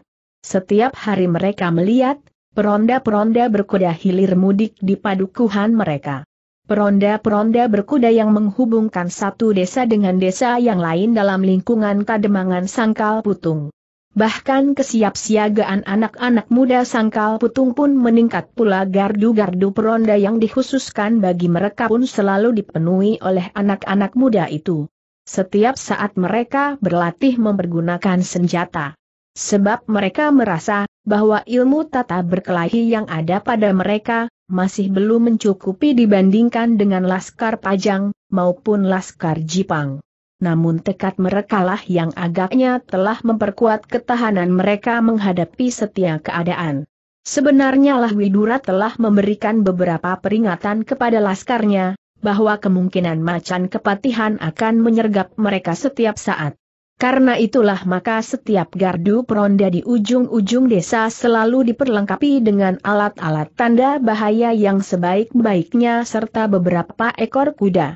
Di halaman Kademangan pun telah dikumpulkan beberapa ekor kuda yang cukup baik dari segenap penduduk Sangkal Putung. Setiap saat Laskar Pajang itu harus bergerak cepat ke tempat-tempat yang dianggap sangat berbahaya. Sedang pada hari itu pula Untara sedang mengagumi care adiknya untuk meningkatkan ilmunya. Untara melihat beberapa lembar rontal yang telah dilukis oleh Agung Sedayu. Dengan pengetahuan yang jauh lebih luas, Untara berhasil memberikan beberapa petunjuk kepada adiknya mengenai lukisan-lukisannya.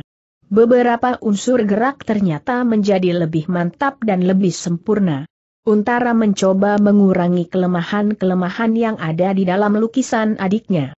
Nanti malam biarlah aku melihat ketangkasanmu berkata Untara kepada adiknya mudah-mudahan toh pati tidak menyergap kita hari ini.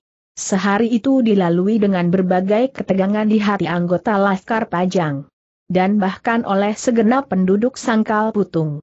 Pagi-pagi mereka sudah pergi ke warung di ujung desa, kemudian memasak agak lebih banyak dari biasanya. Apabila sewaktu-waktu datang keributan, mereka sudah menyimpan makanan di rumahnya. Bahkan beberapa orang telah mempersiapkan barang-barang yang mereka anggap berharga. Ketika seorang perempuan sibuk membungkus barang-barangnya, bertanyalah suaminya untuk apa barang-barang itu kau kumpulkan? Apakah kita tidak pergi mengungsi saja kakang ke mana kita akan mengungsi? ke kademangan-kademangan sebelah. Tak ada gunanya. Di kademangan ini ditempatkan sejumlah laskar pajang. Di kademangan-kademangan lain sama sekali tidak, selain hanya kadang-kadang saja dilewati oleh para peronda dari kademangan ini juga. Istrinya termenung sesaat, namun kemudian jawabnya tetapi aku dengar, kademangan ini menjadi tujuan penyerbuan dari Laskar Jipang, sebab kademangan inilah yang dianggap menjadi sumber perbekalan. Sedang kademangan lain tidak. Sesudah kademangan ini, akan datang gilirannya kademangan-kademangan lain. Dan kita akan mengungsi dari satu kademangan ke lain kademangan. Istrinya tidak berkata-kata lagi. Meloncat dari satu tempat ke tempat lain dengan seluruh anak-anaknya adalah pekerjaan yang tidak menyenangkan. Tetapi tinggal di rumah pun hatinya selalu gelisah. Sehingga kemudian suaminya berkata yang sebaik-baiknya adalah mempertahankan kademangan ini bersama-sama dengan Laskar Pajang. Sampai berapa tahun Laskar Pajang itu akan tinggal di sini? Bukankah dengan demikian akibatnya akan hampir sama? Kenapa? Mereka makan beras kita yang kita pertahankan dari sergapan Laskar Jipang. Tidak seberapa. Mereka makan hanya sepenuh-penuh perut mereka. Sedang Laskar Jepang akan mengambil semuanya, bahkan dengan semua benda-benda berharga dari kademangan ini. Kembali istrinya berdiam diri. Ketika suaminya kemudian berkata lagi, hatinya berdebar-debar. Katanya Nyai, sebaiknya kita pertahankan kademangan ini. Sebaiknya setiap laki-laki ikut serta. Tidak hanya anak-anak muda saja. Kau akan pergi juga?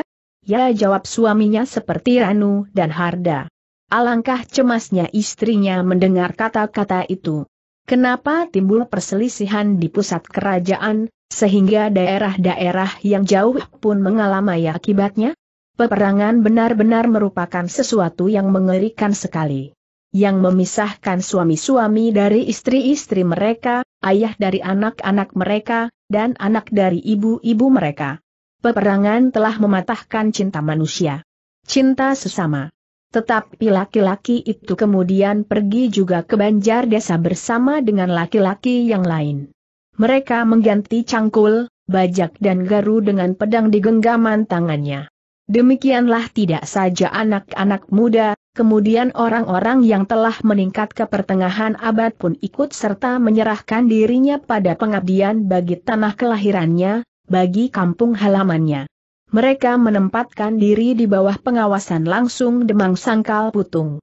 Dan bagi mereka telah dibagikan tugas, untuk menjaga kademangan dan lumbung-lumbung desa pada saat-saat yang genting. Sedang anak-anak muda diperkenankan ikut dalam perlawanan langsung apabila musuh-musuh mereka benar-benar datang. Tetapi hari itu telah dilewati dengan aman. Laskar Macan Kepatihan sama sekali tidak menampakkan diri. Tetapi tidak mustahil bahwa mereka akan menyergap di malam hari. Setan itu benar-benar mengganggu kademangan ini gerut Widura, ketika malam turun. Mereka barangkali kini sedang tidur dengan nyenyaknya, sedang kita harus selalu berjaga-jaga menunggu kedatangan mereka. Pada suatu ketika, kitalah yang mengambil prakarsa. Bukan mereka. Sebab dengan demikian, keadaan kita merekalah yang menentukan sahut Tuntara. Widura mengangguk-anggukan kepalanya. Seharusnya lah demikian. Apabila datang saatnya, Laskar Pajanglah yang harus mencari sisa-sisa Laskar Macan Kepatihan untuk dimusnahkan. Malam itu seperti yang biasa dilakukan oleh Widura, adalah pergi berkeliling gardu-gardu peronda. Kali ini Widura tidak hanya pergi berdua dengan Agung Sedayu, tetapi Untara turut serta bersama mereka. Satu persatu Widura mengunjungi gardu-gardu besar, dan pusat-pusat penjagaan. Ternyata tak seorang pun dari anak buahnya yang mengabaikan segala perintahnya. Sebab sedikit kelengahan yang mereka lakukan, maka akibatnya dapat mengerikan sekali. Sehingga dengan dem dengan penuh kesadaran mereka melakukan tugas-tugas mereka dengan penuh tanggung jawab. Yang terakhir dilakukan oleh Widura adalah pergi ke Gunung Gowo. Untara ingin melihat, bagaimanakah perkembangan adiknya selama ini karena itu, maka ketika mereka telah beristirahat sejenak, Untara itu pun berkata Nah Agung Sedayu. Aku ingin melihat, apakah kau hanya sekedar pandai melukis di atas rontal-rontal itu, ataukah kau pandai juga melakukannya? Anak itu luar biasa berkata Widura kalau ia memiliki keteguhan hati, maka ia tak akan kalah dengan aku atau Sidanti. Untara tersenyum. Katanya kepada adiknya hatimu sekecil hati kelinci. Namun agaknya sekarang kau telah menemukan harga dirimu, sehingga karena itu hatimu akan berkembang. Dengan demikian maka kau akan dapat menjadi seorang laki-laki yang tidak menggantungkan nasibmu kepada orang lain. Agung Sedayu tidak menjawab. Tetapi ia ingin menunjukkan kepada kakaknya, apakah yang telah yang dimilikinya selama ini.